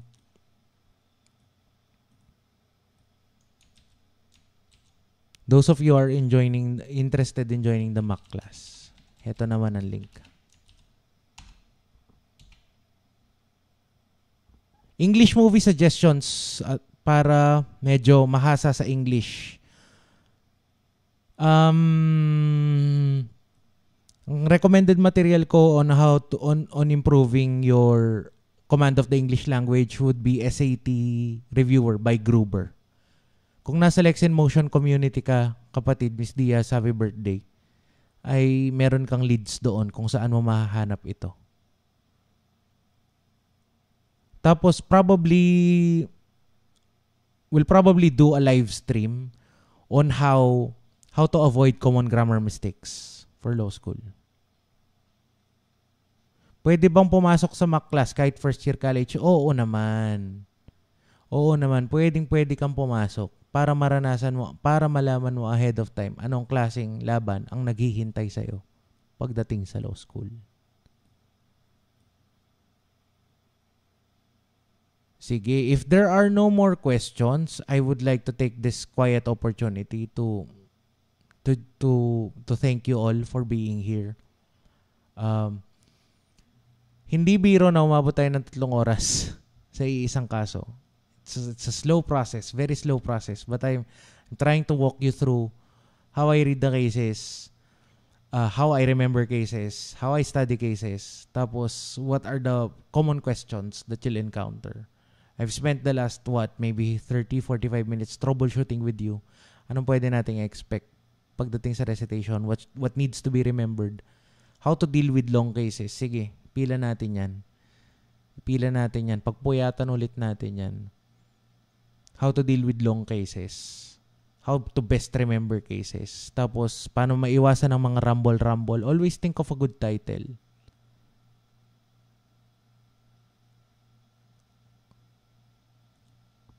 really, really thankful that you're all here. Sige. Wait lang ha.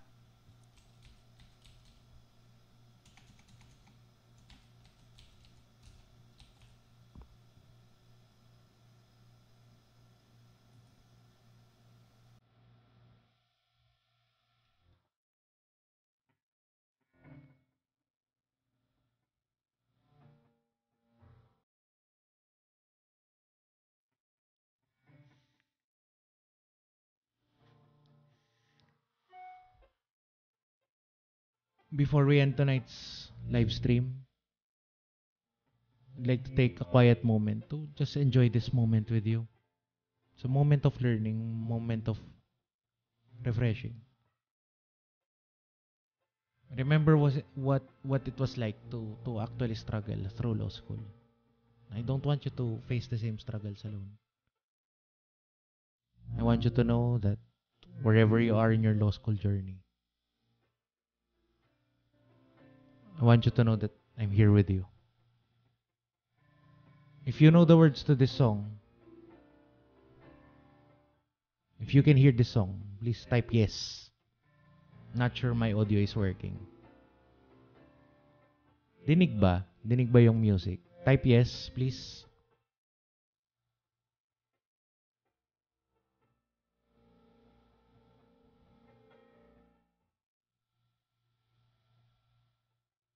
I don't share this as much, pero each day, each each morning and each night, I have a long list of people I actually pray for. Some of them are here. I know what it's like to struggle through law school. I wrote most, most of that sa dekada. I want you to know you're not alone. You're never alone. So if if you if if you feel like it, I I, I invite you to to close your eyes. Put your hands over your chest. Say these words after me. Father, we come to you now together. The early hours of a Saturday. We lift up to you the last three hours that we've attempted to learn, to study the means and methods I've used through my years in law school on how to read, study, and try to remember cases.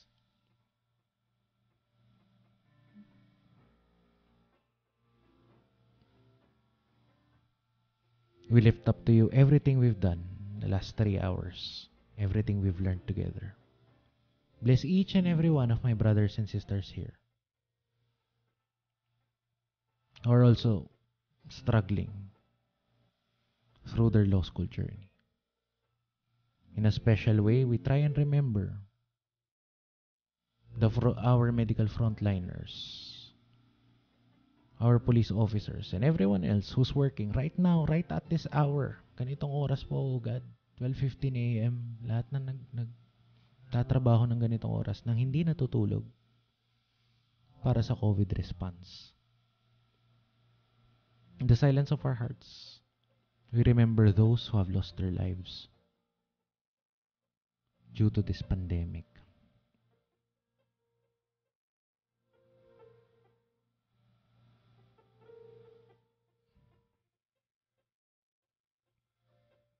In a special way, we speak words of healing to everyone who is sick with COVID 19. Alam ko bro, nandito ka. I want you to know that I'm praying for you. I'm praying for your healing. I speak words of healing. We speak words of healing, O God. We command every cell, every tissue, every organ, and every system within my brother's body to be rid of COVID-19. Pray for his recovery. Oh God.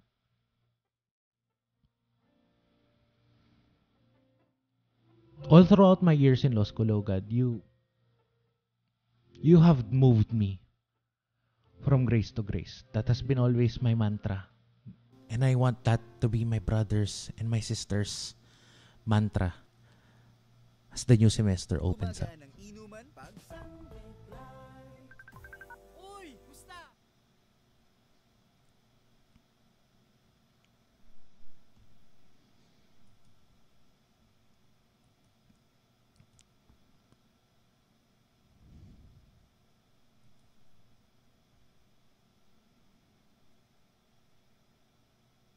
You have moved me from grace to grace in everything, in every day. Tonight, I pray for the same for my brothers and sisters. Tonight, I pray that you move them from grace to grace. That in everything and in every day, they may see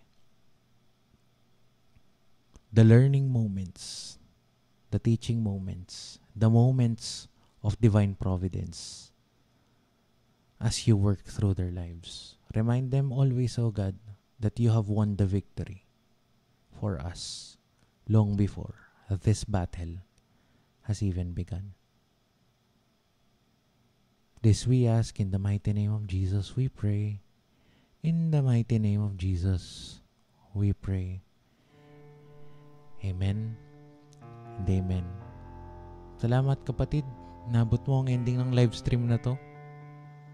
I'm just happy that you're here.